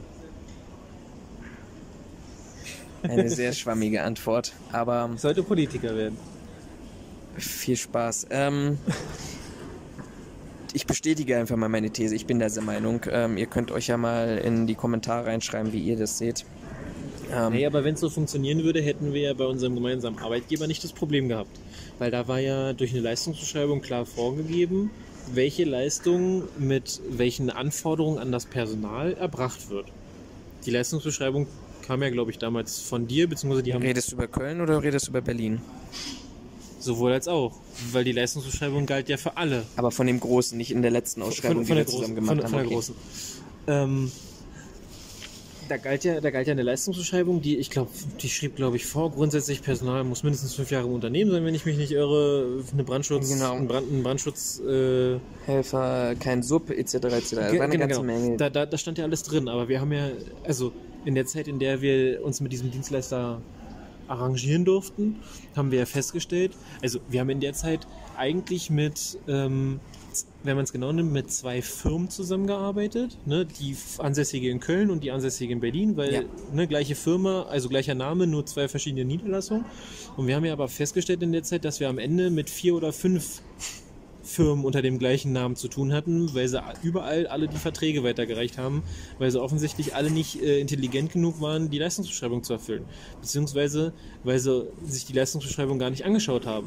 Vielleicht, weil sie nicht damit gerechnet haben, dass der Kunde den notwendigen Sachverstand mitbringt oder aber, weil man zu geil auf den Auftrag war. Was davon jetzt zutrifft, keine Ahnung, ist mir per se eigentlich auch erstmal egal. Nur genau da hatten wir das ja. Es gab eine Leistungsbeschreibung, die klar definiert hat, was muss äh, quasi, muss der Mitarbeiter, der die Dienstleistung ausfüllt, was muss der erbringen, was muss der für Qualifikationen nachweisen können. Äh, Der Auftrag wurde angenommen. Auftrag, das Einzige, was, soweit ich weiß, bei dem Auftrag diskutiert wurde, war nochmal, in welchen Skontozeiten ich äh, quasi was bekomme.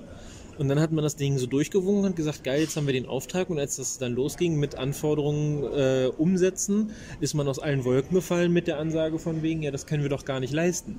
Und da stelle ich mir halt die Frage, ähm, ob das so funktioniert. Weil das ist ja die, die Problematik, die du ja heute schon siehst, unabhängig davon, ob du die Anforderungen definierst oder nicht. Du kriegst einen, der dir den günstigsten Preis gibt, um dir, sobald er den Auftrag hat, zu sagen, ja, ach, zu dem Preis können wir das gar nicht machen, Sie müssen mal folgende Zusatzleistung buchen. Ist ein bisschen vergleichbar mit EasyJet. Du buchst ein Ticket, um irgendwo hinzufliegen. Wenn du aber Gepäck mitnehmen willst, musst du 18 Euro draufzahlen. Wenn du dann noch einen, noch einen Sitzplatz reservieren willst, damit du nicht, weiß ich nicht, hinter der letzten Kaschemme sitzt, wo du den äh, Stewardessen bei zugucken kannst, wie sie den Wein daneben kippen und aus dem, aus dem Boden wieder raussaugen und dir dann geben, musst du nochmal 20 Euro zahlen. Wenn du dann mit drei, mit drei Gramm zu viel kommst, um das mal zu, zu übertreiben, musst du nochmal 150 Euro extra zahlen und musst es dann sogar aufgeben, das Gepäck. Aber weiß ich das nicht als Kunde im Vorhinein? Also, das, das wäre ja so, wenn ich ins, ins Reisebüro gehen würde. Aber da bist du halt wieder. ich, ich bin mal, bleib mal bei diesem Vergleich. aber da ich würde ins Reisebüro gehen und Da sagen, bist du aber genau wieder bei der gleichen Thematik, wie du sie vorhin hattest. Im Privaten ist alles anders als im Geschäftlichen.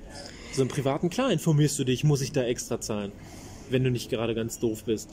Im geschäftlichen Bereich interessiert es keinen. Da, hast, da ist es eine Friss- oder Stirb-Mentalität von, du bist der Dienstleister, du solltest wissen, wie das funktioniert, also sieh zu. Aber ich glaube, ich habe dann auch letztendlich als, als Kunde, wenn ich die objektiven Anforderungen recht hoch setze, ja, das ist sicherlich kein Garant dafür, dass mir ähm, für Preis XY die entsprechende und gewünschte Qualität zuteilkommt.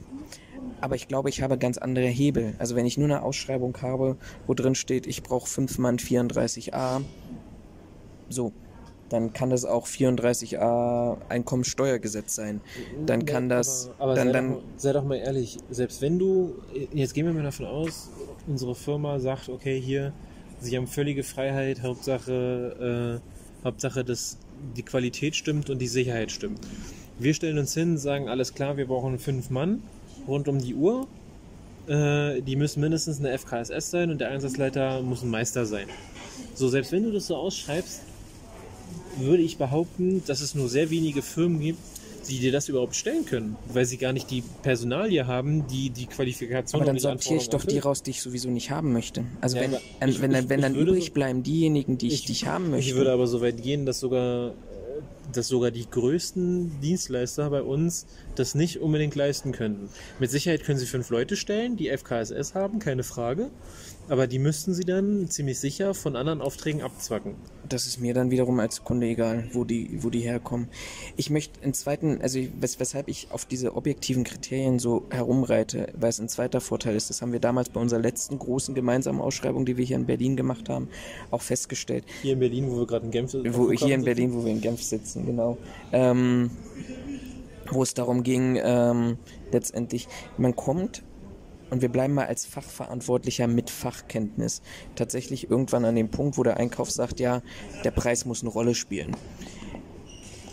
Ich glaube, dass es ein riesiger Vorteil ist, wenn ich sage, ich definiere als Fachverantwortlicher die fachlichen Kriterien, die eine Rolle spielen. Der Einkauf hat gar keine Ahnung, was da am Ende des Tages für einen Preis rauskommt. Ne, wenn, Wir du haben- guten, wenn du einen guten Einkauf hast, dann redet ihr bei den, bei den Anforderungen auch nicht dazwischen. Genau. Sollte er auch nicht, kann er auch letztendlich nicht ähm, mir dazwischen reden. Und wenn ich dann sehr strikte, sehr hohe Qualitätsanforderungen setze, dann gebe ich dem Einkauf dann auch die Möglichkeit, einen Spielraum zu sagen, okay, aber es muss der billigste sein. Na klar, wenn ich hohe Qualitätsanforderungen habe und wir bewegen sich alle nur noch zwischen 15 und 20 Euro, war vielleicht ein bisschen übertrieben dargestellt, aber zwischen 20 und 25,50 Euro, ja meine Güte, wenn der, wenn der Dienstleister mir garantiert oder beziehungsweise durch Vertrag garantiert, dass er mir die geforderte äh, Bringschuld erfüllt, dann kann das auch 20,50 Euro statt 25,50 Euro sein. Der zweite Vorteil ist, dass ich einfach einen Hebel habe, um dagegen zu agieren. Das ist ja das, was ich vorhin sagte. Fünf, wenn ich 5 mal 34a schreibe, da gibt es eben pfiffige und gewiefte Unternehmen, die sich irgendein 34a raussuchen, der irgendwie passte, weiß ich nicht, dir solchen Gesetz, wo drin steht, du musst einen Affen überwachen, keine Ahnung, äh, irgendwie sowas und geben dir den günstigsten Preis und sagen nachher, du Kunde, pass mal auf, du hast doch gesagt, fünf Mann nach 34a, du hast nicht gesagt, dass die Deutsch können müssen, du hast nicht gesagt, dass sie die Sachkundeprüfung haben müssen, du hast nicht gesagt, dass die sauber und ordentliche Dienstkleidung haben möchten, das kriegst du dafür. Besonders am Arsch, auf gut Deutsch, bin ich, wenn ich einen hohen Preis dafür zahle und diese Leistung bekomme. Aber da bin ich auch wieder am Ende des Tages selber schuld, weil ich einfach nicht den Rahmen definiert habe als Kunde, was ich mir als Produkt vorstelle. Dazu noch ein Kommentar. An sich mag das ja richtig sein. Und rein, rein von der Theorie her mag das ja auch passen. Mhm. Aber die Gegenfrage, die du dir stellen musst, willst du wirklich die Anforderungen definieren? Ne, ich will FKSS, ich will Meister, äh, ich will am besten noch einen Studierten daneben sitzen haben. Mit, weiß ich nicht, sämtlichen Qualifikationen, die du aus der Sicherheitswirtschaft holen kannst.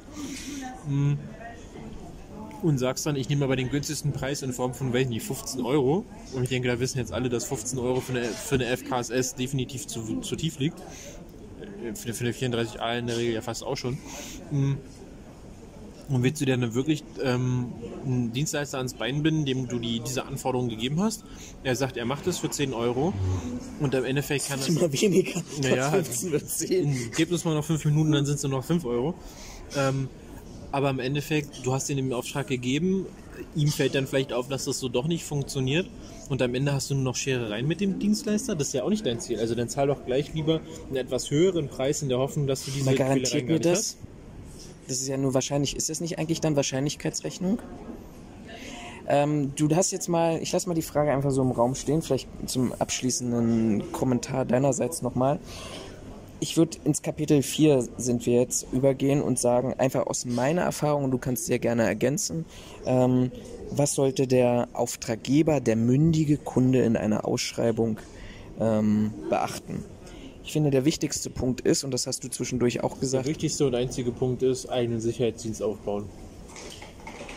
Äh, Tatsächlich, ich glaube, das Nein, wird, das wird auch die Zukunft sein. Das wird auch, das immer mehr. Ja, Ja, je nachdem. Also das können wir in der nächsten, übernächsten Sonderfolge.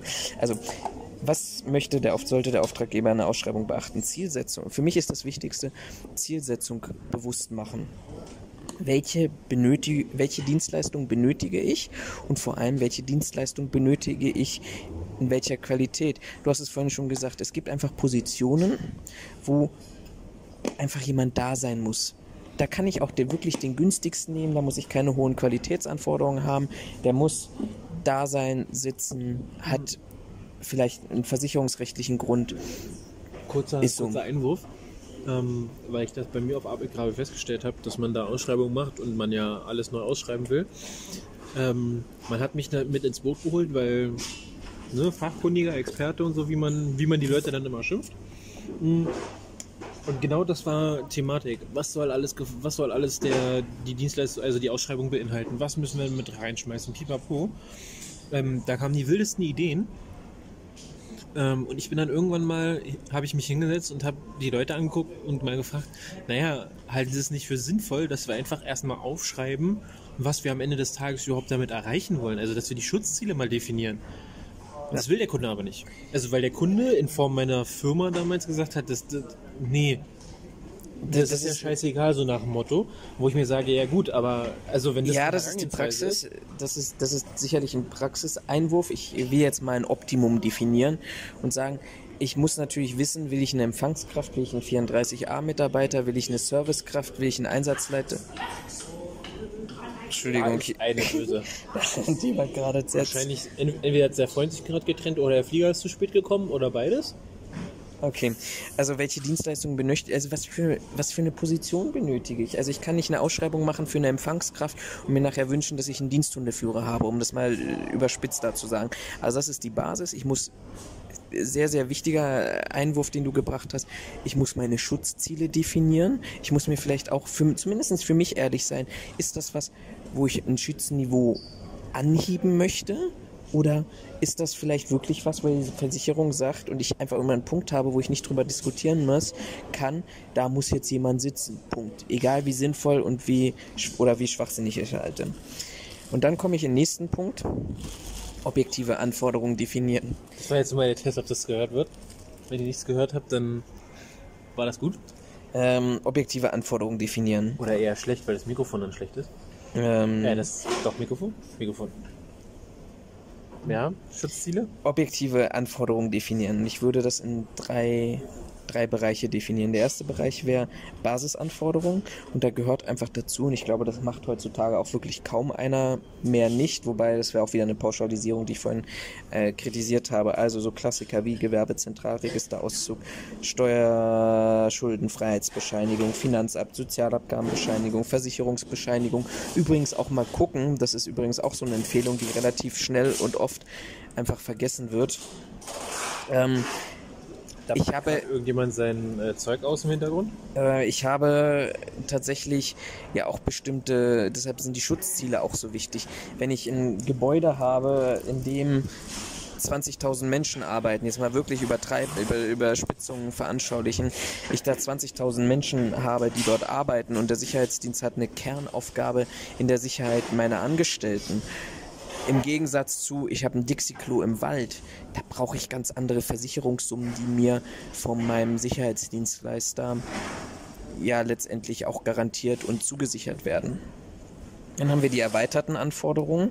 Das heißt, alles das, was ich zuvor gesagt habe, ähm, die, die objektiven Qualitätsanforderungen, also Zertifikatsnachweise. Ähm, ich muss aber auch nicht unbedingt auf Zertifikate, also meine ich so Klassiker wie ISO 9001, DIN 77200 etc., sondern ich kann auch in Anlehnung arbeiten. Das haben wir beispielsweise zu, zuletzt in Berlin gemacht. Da war, ähm, ich bin großer Fan der DIN 77200 in der Version von 2008. Die kann ich natürlich heute nicht fordern, mal davon abgesehen, dass die auch nicht eigentlich zertifizierbar waren. Aber ich kann mir gucken, was gefällt mir denn an dieser DIN 77200 in dieser Version und kann die Anforderungen da rausschreiben als objektive Kriterien, ohne die Zertifizierung an sich zu fordern. Ähm, ich kann Qualifikation von Mitarbeitern, darüber haben wir schon gesprochen, Fachkraft für Schutz und Sicherheit, Meister für Schutz und Sicherheit, aber auch eben sagen, für diese Position reicht mir eine Sachkundeprüfung nach 34a. Und an der Stelle, was ich, was wir heute, vorhin schon im Gespräch hatten, bevor wir aufgenommen haben, dass ich auch einfach mal äh, Sprachkenntnisse, so wie ich sie haben will, nach einem, äh, ich sag mal, standardis standardisierten oder definierten Rahmen einfach zusammenfasse. Ich habe das jetzt bei uns gemacht, äh, in Form von, äh, es ging darum, dass die Mitarbeiter natürlich Deutsch in Wort und Schrift können sollten und natürlich auch Englisch, zumindest in, in Wort. Mm, Da fing man an mit solchen Sachen wie Grundkenntnisse, gute Sprachkenntnisse. Mit Sicherheit findet man dafür irgendwo eine Definition, keine Frage. Aber nichtsdestotrotz finde ich, sind gute Sprachkenntnisse heute immer noch schwammiger, als wenn ich einfach sage, ich hätte gerne ein Niveau als Beispiel ähm, A1 nach dem europäischen äh, Rahmen äh, Sprachen Sprachrahmen. oder Rahmen für Sprachen oder so heißt es. Äh, Ist quasi eine, eine ein Vorge also da wird auch ganz klar definiert, was A1 äh, quasi können muss. Und daran kann ich ja viel besser anlegen, ähm, ob der Mitarbeiter, der mir gestellt wird, das erfüllt oder nicht. Weil im Zweifelsfall, wenn mein, wenn der Arbeitgeber das, das Dienstleister oder wenn der Dienstleister mir sagt, das kann der, ich aber nach wie vor der Meinung bin, der kann das nicht, nehme ich halt die 50 Euro oder was so ein Teufeltest kostet in die Hand, sagst du, alles klar, dann sollte es ja für ihn gar kein Problem sein, den Test darüber für eine B1 zu machen, weil A2, äh, A1 oder A2 sollte er ja durch, durchaus erfüllen. Und dann einfach mal einen Test machen lassen und wenn dann bescheinigt wird, na, das hat er aber nicht gerissen, Mhm. dann ist für mich ganz klar, die Sprachkenntnisse mit meiner Mindestanforderung von A1, A2, was auch immer man dann halt anlegt. Wie gesagt, wenn man das googelt, findet man da auch ganz klar die Vorgaben, was für das jeweilige Sprachniveau ähm, geschafft werden muss oder was es umfasst, sodass man auch mal ein vernünftiges Bild davon hat. Ähm, dann, dann habe ich halt was, worüber ich wirklich definieren kann. Weil wenn ich schreibe, ja, der muss gute Sprachkenntnisse haben. Mhm. Was bedeutet Da, das? da, da finde ich auf der einen Seite, gute Sprachkenntnisse hat früher das bedeutet, auf der nächsten Seite steht, gute Sprachkenntnisse sind heute das. Aber so eine richtig, ich sag mal, eine greifbare, vernünftige Definition, die, die in meinen Augen zumindest vor einem möglichen Rechtsstreit auch ein gewisses Gewicht hat, ist das in meinen Augen nach wie vor nicht. Weil im Endeffekt das Gericht muss sich jetzt erstmal damit auseinanderklamüsern, ist das jetzt gut, was ist gut, wie wird gut definiert, statt von Anfang an zu sagen, Mindestanforderung für Deutsch ist ein C1. C, äh, C2 ist, glaube ich, das höchste, das ist äh, annähernd, Muttersprachler. genau, Muttersprache bzw. annähernd muttersprachliche äh, Kenntnisse. Und C, ein C1 kann ich ja für einen Muttersprachler, jetzt mal von Deutsch ausgehend, sollte man in Wort und Schrift, äh, sollte man C1, denke ich, jedem gegenüber äh, anlegen können, wenn es um Deutsch geht. Ne? Jetzt mal von einem, auch von einem deutschen Arbeitnehmer ausgehend. Jetzt nicht von äh, vielleicht von einem Zugezogenen, vom Migranten, der sich das vielleicht hart erarbeitet. Klar, der wird nicht unbedingt gleich einen A1-Status ha- äh, äh, Status beziehungsweise ein Zertifikat dafür bekommen, äh, C1 meine ich, äh, Zertifikat bekommen, keine Frage. Aber wenn wir jetzt mal von einem, von einem eigentlichen Muttersprachler ausgehen ähm, und ich für den die Latte setze, er muss mindestens ein C1 schaffen, wo C2 das Mutterspra Muttersprachlerniveau ist, denke ich, ähm, hat man ja schon mal A, die Anforderungen ein Stück weiter unten angesetzt.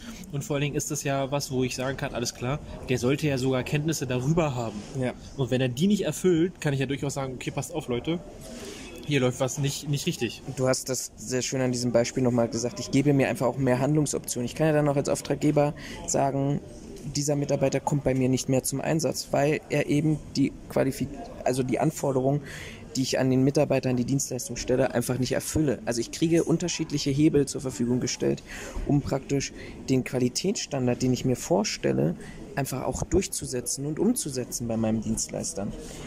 Was kann ich noch definieren in den erweiterten Anforderungen? Aus meiner Sicht sollte man auch gucken, was ist Einweisungsstunden, weil ich als Auftraggeber habe eine ganz gute Vorstellung davon, was eigentlich, wie, wie lange man sich benötigt, um, um in eine Tätigkeit hineinzukommen. Ich kann Schulungen vorgeben. Ich kann aber auch sagen, das haben wir auch gemacht, monatliche Joe-Fix-Termine. Das heißt, der, der Auftraggeber muss in seinem Vertrag fest mit einplanen, dass man sich einmal, Auftragnehmer, dass man einmal im Monat zusammensitzt ähm, und die Leistung, die Qualitätsleistung beurteilt und wir haben es am Anfang gesagt, wir arbeiten nun mal mit Menschen. Ich muss doch auch dem, dem Dienstleister die Chance geben, dass er Verfehlungen seiner Mitarbeiter sofort denen entgegenwirkt und nicht, wenn ich dann nach einem Jahr komme und sage, du pass mal auf, aber im letzten Jahr ist das und das und das schiefgegangen, da hat er auch gar keine Möglichkeiten mehr dazu. Ich kann festlegen, und darüber haben wir gar nicht gesprochen und dieses Fass will ich auch gar nicht aufmachen, weil es da auch beide, beide Ebenen gibt. Ähm, ich, kann da, ich kann festlegen, möchte ich Subunternehmer haben oder möchte ich keinen Subunternehmer haben. Ähm, das ist sicherlich in vielen Bereichen auch relativ schwierig. Aber ich muss halt gucken, und das ist der wichtigste Basisvorstellung davon, was ist eigentlich das Ziel und das Schutzniveau meiner Dienstleistung. Dann habe ich noch eine dritte Ebene für mich ähm, ausgemacht. Das sind die vertragliche Anforderungen im Allgemeinen. Ich bin ein großer Fan, Pönalen reinzuschreiben und das ist für mich auch kein Vertrauensverlust ähm, und auch kein Motivator, sondern ich glaube einfach, dass ich davon ausgehe, wenn ich einen Vertrag habe, dass sowieso alles funktioniert. Ähm, ich, wir haben es anders erlebt. Der Dienstleister diskutiert sehr gerne darüber, warum Pönalen drinstehen.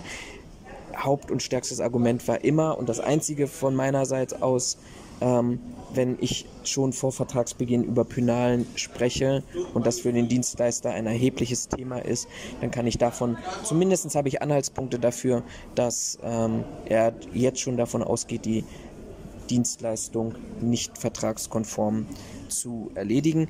Ich bin gar kein Fan von Belobigungen. Also wenn du, das haben wir jetzt auch in einigen, glaube ich, auch an Flughäfenverträgen gesehen, wenn ich dann habe, ja, wenn der Mitarbeiter, wenn die Dienstleistung zu 97 Prozent äh, vertragskonform erfüllt wird, dann kriegst du so und so viel Prozentanteil des monatlichen Umsatzes.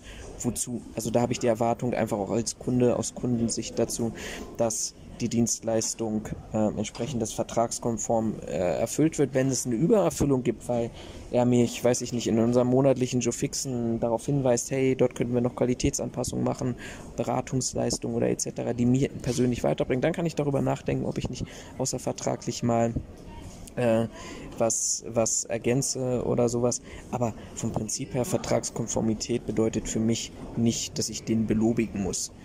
Ja, das ist, glaube ich, wie man in einigen Bereichen äh, Bonus und Strafe quasi falsch versteht. Weil, also ich finde, in den Vertrag mit aufzunehmen, was machen wir, wenn bestimmte Mängel erreicht werden oder Mängel sich anhäufen, dass ich dann einfach die Möglichkeit, also von Anfang an fest klar definiere, passt auf, bei, ich sag mal, zwei Mängeln, die gravierend sind, weil sie quasi den Vertrag überhaupt nicht erfüllen, darf ich euch so und so viel vom, von der Monatsrechnung einbehalten wenn ich grundsätzlich ähm, meine Leistung erbringe, wie sie im Vertrag steht, und das entspricht ja quasi 100 Prozent, dann brauche ich ja vor einer Strafe keine Sorge mehr haben. Weil ich mache ja das, was ich machen soll. Insofern sehe ich da die, die Problematik mhm. nicht, wenn man solche Strafen mit aufnimmt. Ich muss auch nicht für 100% belobigt werden. Also ich, ich tue das, das, genau das, genau, was ich das, Genau das ist es. Ich meine, wenn ich, wenn ich, als, ich als Arbeitnehmer stelle mich ja auch nicht hin und sag so, also ich war jetzt äh, dieses Jahr in äh, 90% aller Fälle äh, anwesend. Jetzt hätte ich aber schon ganz gerne mal, dass ich die 1000 Euro extra kriege, weil, hey, der Teppich war zwar auch anwesend, aber ich auch und ich habe sogar noch am Computer gearbeitet. So, das funktioniert ja so nicht, ne? Und sich da als, als Dienstleister hinzustellen, zu sagen, da will ich aber einen Bonus oder einen Bonus raushandeln zu wollen, weil ich äh, mhm. quasi das, was ich vertraglich zugesichert habe, dann erbracht habe und dafür auch noch was extra haben will, das, finde ich halt genauso frech wie von einem Dienstler, äh, wie von einem, von einem Auftraggeber sich hinzustellen und zu sagen so, äh, friss oder stirb, gib mir den günstigsten Preis. Mhm. Beziehungsweise ich will von dir eine FKSS haben, will aber nicht mehr als 5 Euro dafür zahlen. Da sind wir bei dem Preisverfall, von dem, wir, von dem ich vorhin mhm. schon gesprochen habe. Aber so, ne, das, das ist eine Frechheit, die liegt halt auf beiden Seiten. Ähm, wenn 100% erreicht sind und sich vielleicht besonders, oder äh, bestimmte Mitarbeiter sich besonders hervortun, weil sie, weiß ich nicht, besonders extra an, an, äh, an Service geben oder weil die mir quasi dauernd zur Verfügung stehen, weil sie dauernd kurzfristig einspringen. Klar, dann kann man von Auftraggeber und vielleicht auch Auftragnehmerseite in Zusammenarbeit oder auch einzeln mal von einem Bonus sprechen und sagen, okay, wir möchten, weiß ich nicht, das Unternehmen besonders hervorheben, weil es uns quasi auch Dienste unter der vorgeschriebenen Zeit besetzen kann und das in regelmäßiger Form, weil wir über solche Einsatzzeiten gar nicht gesprochen haben, ähm, aber sie wir trotzdem immer irgendwie das gedeichselt bekommen, ohne da groß an Suppis gehen mhm. zu müssen oder sowas. Da kann man dann auch über einen Bonus sprechen. Aber grundsätzlich bei einer grundsätzlich reinnehmen würde ich auch nicht. Nee, reinnehmen, nee um reingehen, rein, äh, äh reinnehmen geht es nicht, sondern nur darum, nur weil ich 100% erfülle, dann irgendwas plus zu bekommen, macht in meinen Augen einfach keinen Sinn. Diese Erwartungshaltung dürfte man aus meiner Sicht auch gar nicht haben. Nee, genau. Das, das ist es halt. Und auf der anderen Seite brauche ich halt die, die äh, Strafen aber nicht fürchten, wenn ich sage, na 100% des Vertrags werde ich ja so oder so erfüllen. Mhm. Weil da habe ich ja kein Problem. Mein Lieblingsthema, das haben wir tatsächlich nachher auch gemacht. Die Frage ist halt, setze ich das um oder nehme ich mir nur die Möglichkeit, Vorstellung aller einzusetzenden Mitarbeiter? Das ist tatsächlich, bevor das Kind in den Brunnen gefallen ist. Ich habe, wenn ich zuvor alle objektiven Anforderungen gestellt habe und dann habe ich auch Sachen, da kann ich mir ganz schnell daraus eine Checkliste basteln und das überprüfen. Und dann lasse ich doch den Dienstleister mir bei einer Objektübernahme mal die einzusetzenden Mitarbeiter ähm, vorstellen. Und dann spreche ich mal zwei Sätze Englisch mit denen. Und dann lasse ich mir mal das äh, Fachkraftzeugnis zeigen. Und dann, weiß ich nicht, spiele ich mal ein Szenario durch, wie, wie man darauf reagieren würde, etc. etc. Ich kriege ein Gefühl, für die Dienstleistung, die dort zukünftig erbracht werden soll.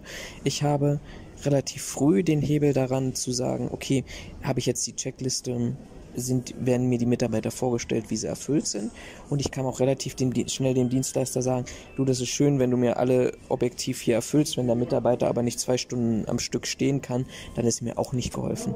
Einfach auch dort sich diesen Aufwand machen.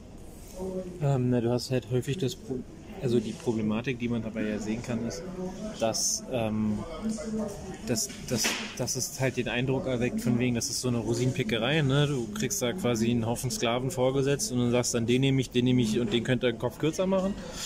Auf der einen Seite, auf der anderen Seite finde ich, ist es halt eine gute Möglichkeit, um irgendwie auch den Mitarbeiter fürs Unterne für, de für den Auftraggeber nochmal mit abzuholen, weil offensichtlich entsteht ja ein gewisses Interesse, man will wissen, wer arbeitet für einen etc.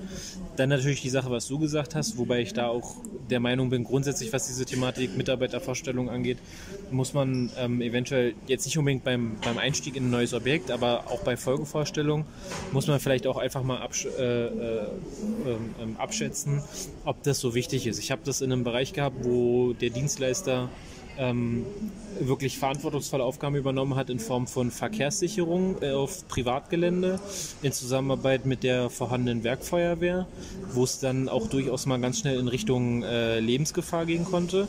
Und da war es uns immer sehr, sehr wichtig, die Mitarbeiter vorher persönlich kennenzulernen weil da in meinen Augen auch wesentlich mehr dranhängt, als wenn die irgendwo einfach nur an einem Empfang sitzen und Hallo und Tschüss sagen. Und zwar so abwertend oder so, so einfach darzustellen. Deshalb, in diesem, wenn ich kurz einhake, ja. ich muss wissen, was für eine Dienstleistung, was ist mein genau, Ziel, genau, was klar. ist mein Schutzniveau. Aber das, das ist halt das, was ich meine, dass man da vielleicht nochmal eine, eine gewisse Abstufung ähm, schafft. Okay, ist es jetzt wirklich notwendig für eine reine Objektbewachung, jeden einzelnen Mitarbeiter zu kennen? Also muss ich oder muss ich das nicht? Das vielleicht nochmal als Einschub mhm. zu äh, Mitarbeitervorstellungen. Und ich habe noch, ein, hab noch ein anderes Signal Richtung Auftraggeber das ist für den natürlich auch riesigen Aufwand, wenn der das alles machen muss, diese Mitarbeitervorstellung. Das heißt, das, was wir heutzutage haben bei 13.000 offenen Stellen, ich erhöhe einfach die Wahrscheinlichkeit, dass sich die Fluktuation in meinem Unternehmen oder in, der Dienstleistung, die für mich erbracht wird, einfach gesenkt wird, weil er jedes Mal praktisch die Vita eines Mitarbeiters zusammenschreiben muss, mir vorstellen muss, wir müssen einen Termin finden, ich muss den Mitarbeiter, ich lerne den Mitarbeiter kennen, der wird überprüft. Hey, wieso muss das ja Auftraggeber geben, wenn ich, wenn ich ein vernünftiges, ähm, einen vernünftigen Bewerbungsprozess habe, dann habe ich die Vita von meinem Mitarbeiter sowieso vorliegen, beziehungsweise bin so schlau, gehe an meinen Mitarbeiter ran, sagst du, schick mir mal deinen Lebenslauf zu. Ja gut, aber da sind, ich muss ja trotzdem, ich will nicht alles wissen. Ich habe ja manchmal so bestimmte Anforderungen, dass der, das weiß ich nicht, vor 30 Jahren vielleicht mal Landwirt gelernt hat, das interessiert mich nicht. Ja, aber das ist trotzdem... Datensparsamkeit. Genau, ja, das ist aber trotzdem genau so eine Thematik, die würde ich eins zu eins auf die Mitarbeiter runterbrechen. Gib mir alles ab dem Zeitpunkt, wo du bei mir eingestiegen bist und dem Arbeitgeber davor. Natürlich, aber so, letztendlich...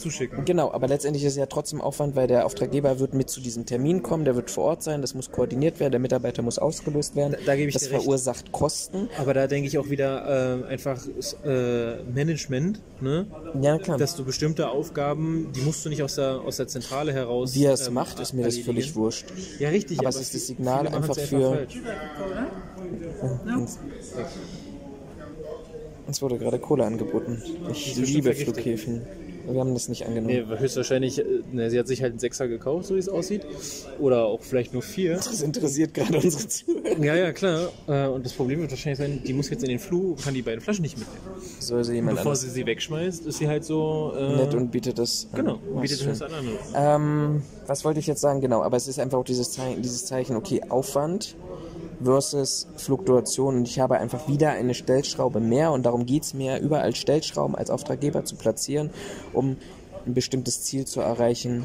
Was jetzt nicht heißen soll, dass ich dem Dienstleister vertraue. Ich brauche ein gewisses Vertrauen, da muss auch eine gewisse Grund, Grundvertrauen da sein, aber ich habe überall, ich setze mir überall in meiner Auftragsvergabe Stellschrauben, wo ich dann anfangen kann und die Hebel umlegen kann.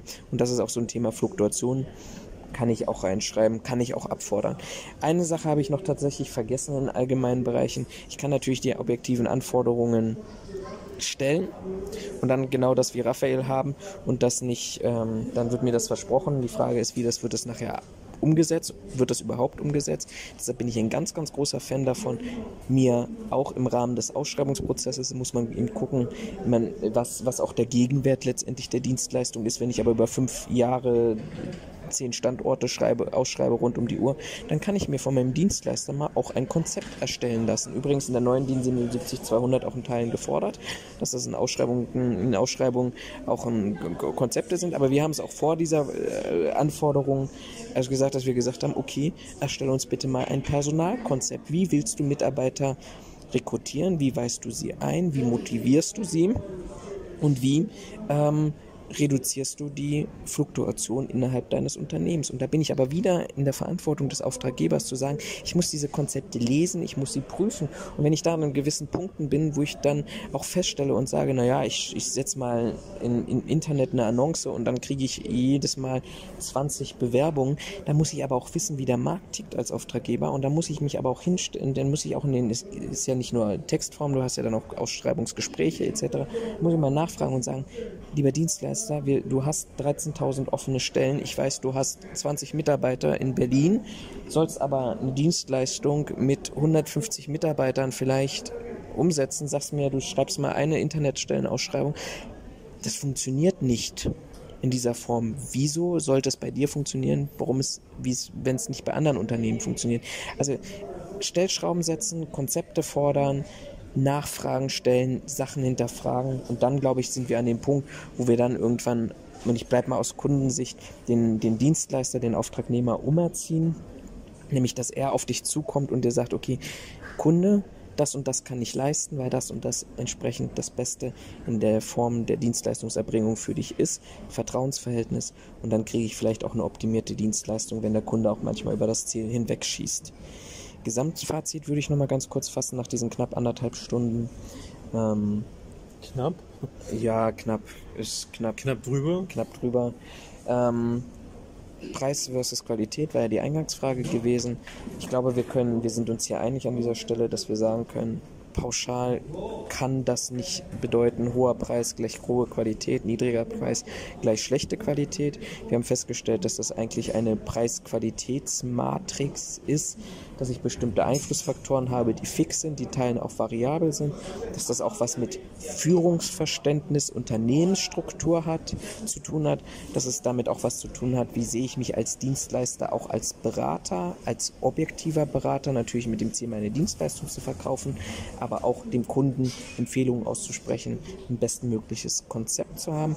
Und ich sehe aber, aber auch letztendlich den Kunden, der wissen muss, was er ausschreiben möchte und aus, als, als Leistung empfangen muss, möchte und welche objektiven Anforderungen, welches Schutzniveau, welche Schutzziele er hier sieht und das letztendlich in verbriefter Form darstellen muss, äh, sagen kann, vielleicht am Ende, ich bleibe bei meiner These dabei, je höher die objektiven Anforderungen sind, desto höher kann ich auch wahrscheinlich mit Qualität rechnen, zumindest habe ich Stellschrauben und Mechanismen für niedrige Qualität vorzugehen und so weniger, umso weniger spielt letztendlich ähm, der Preis in der Vergabe eine Rolle, was ja letztendlich immer wieder auch als Argument genutzt wird. Das war's von meiner Seite. Den, die Schlussworte würde ich jetzt Raphael übergeben und dann verabschiede ich mich vom Genfer Flughafen in dieser internationalen Folge der Sicherheitsphilosophen, der Sicherheitspodcasts überhaupt erstmalig. Ja, also die Worte hat er mir nicht übergeben, sondern er hat mir einfach überlassen, die letzten Worte zu sprechen. Insofern muss ich jetzt wieder imp äh, improvisieren. Ähm, Mach's nicht zu lang. Ich gebe mir Mühe. Der Regen hat aufgehört, wir können quasi wieder vor die Tür gehen. Der Flughafen wird immer voller, offensichtlich gehen die meisten Flüge immer erst abends. Äh, in diesem Sinne suchen wir uns jetzt nochmal ein paar überlegenswerte oder beobachtenswerte äh, Eckpunkte für das Thema Sicherheit, die wir das nächste Mal vielleicht vortragen können. Hoffen, dass wir noch gut nach Hause kommen und dann nicht in Quarantäne äh, geraten. Insofern bleibt keimfrei und äh, wir hören uns dann in der nächsten Folge. Habt einen schönen Abend, schönen Morgen, schönen Tag. Bis dann, auf Wiedersehen.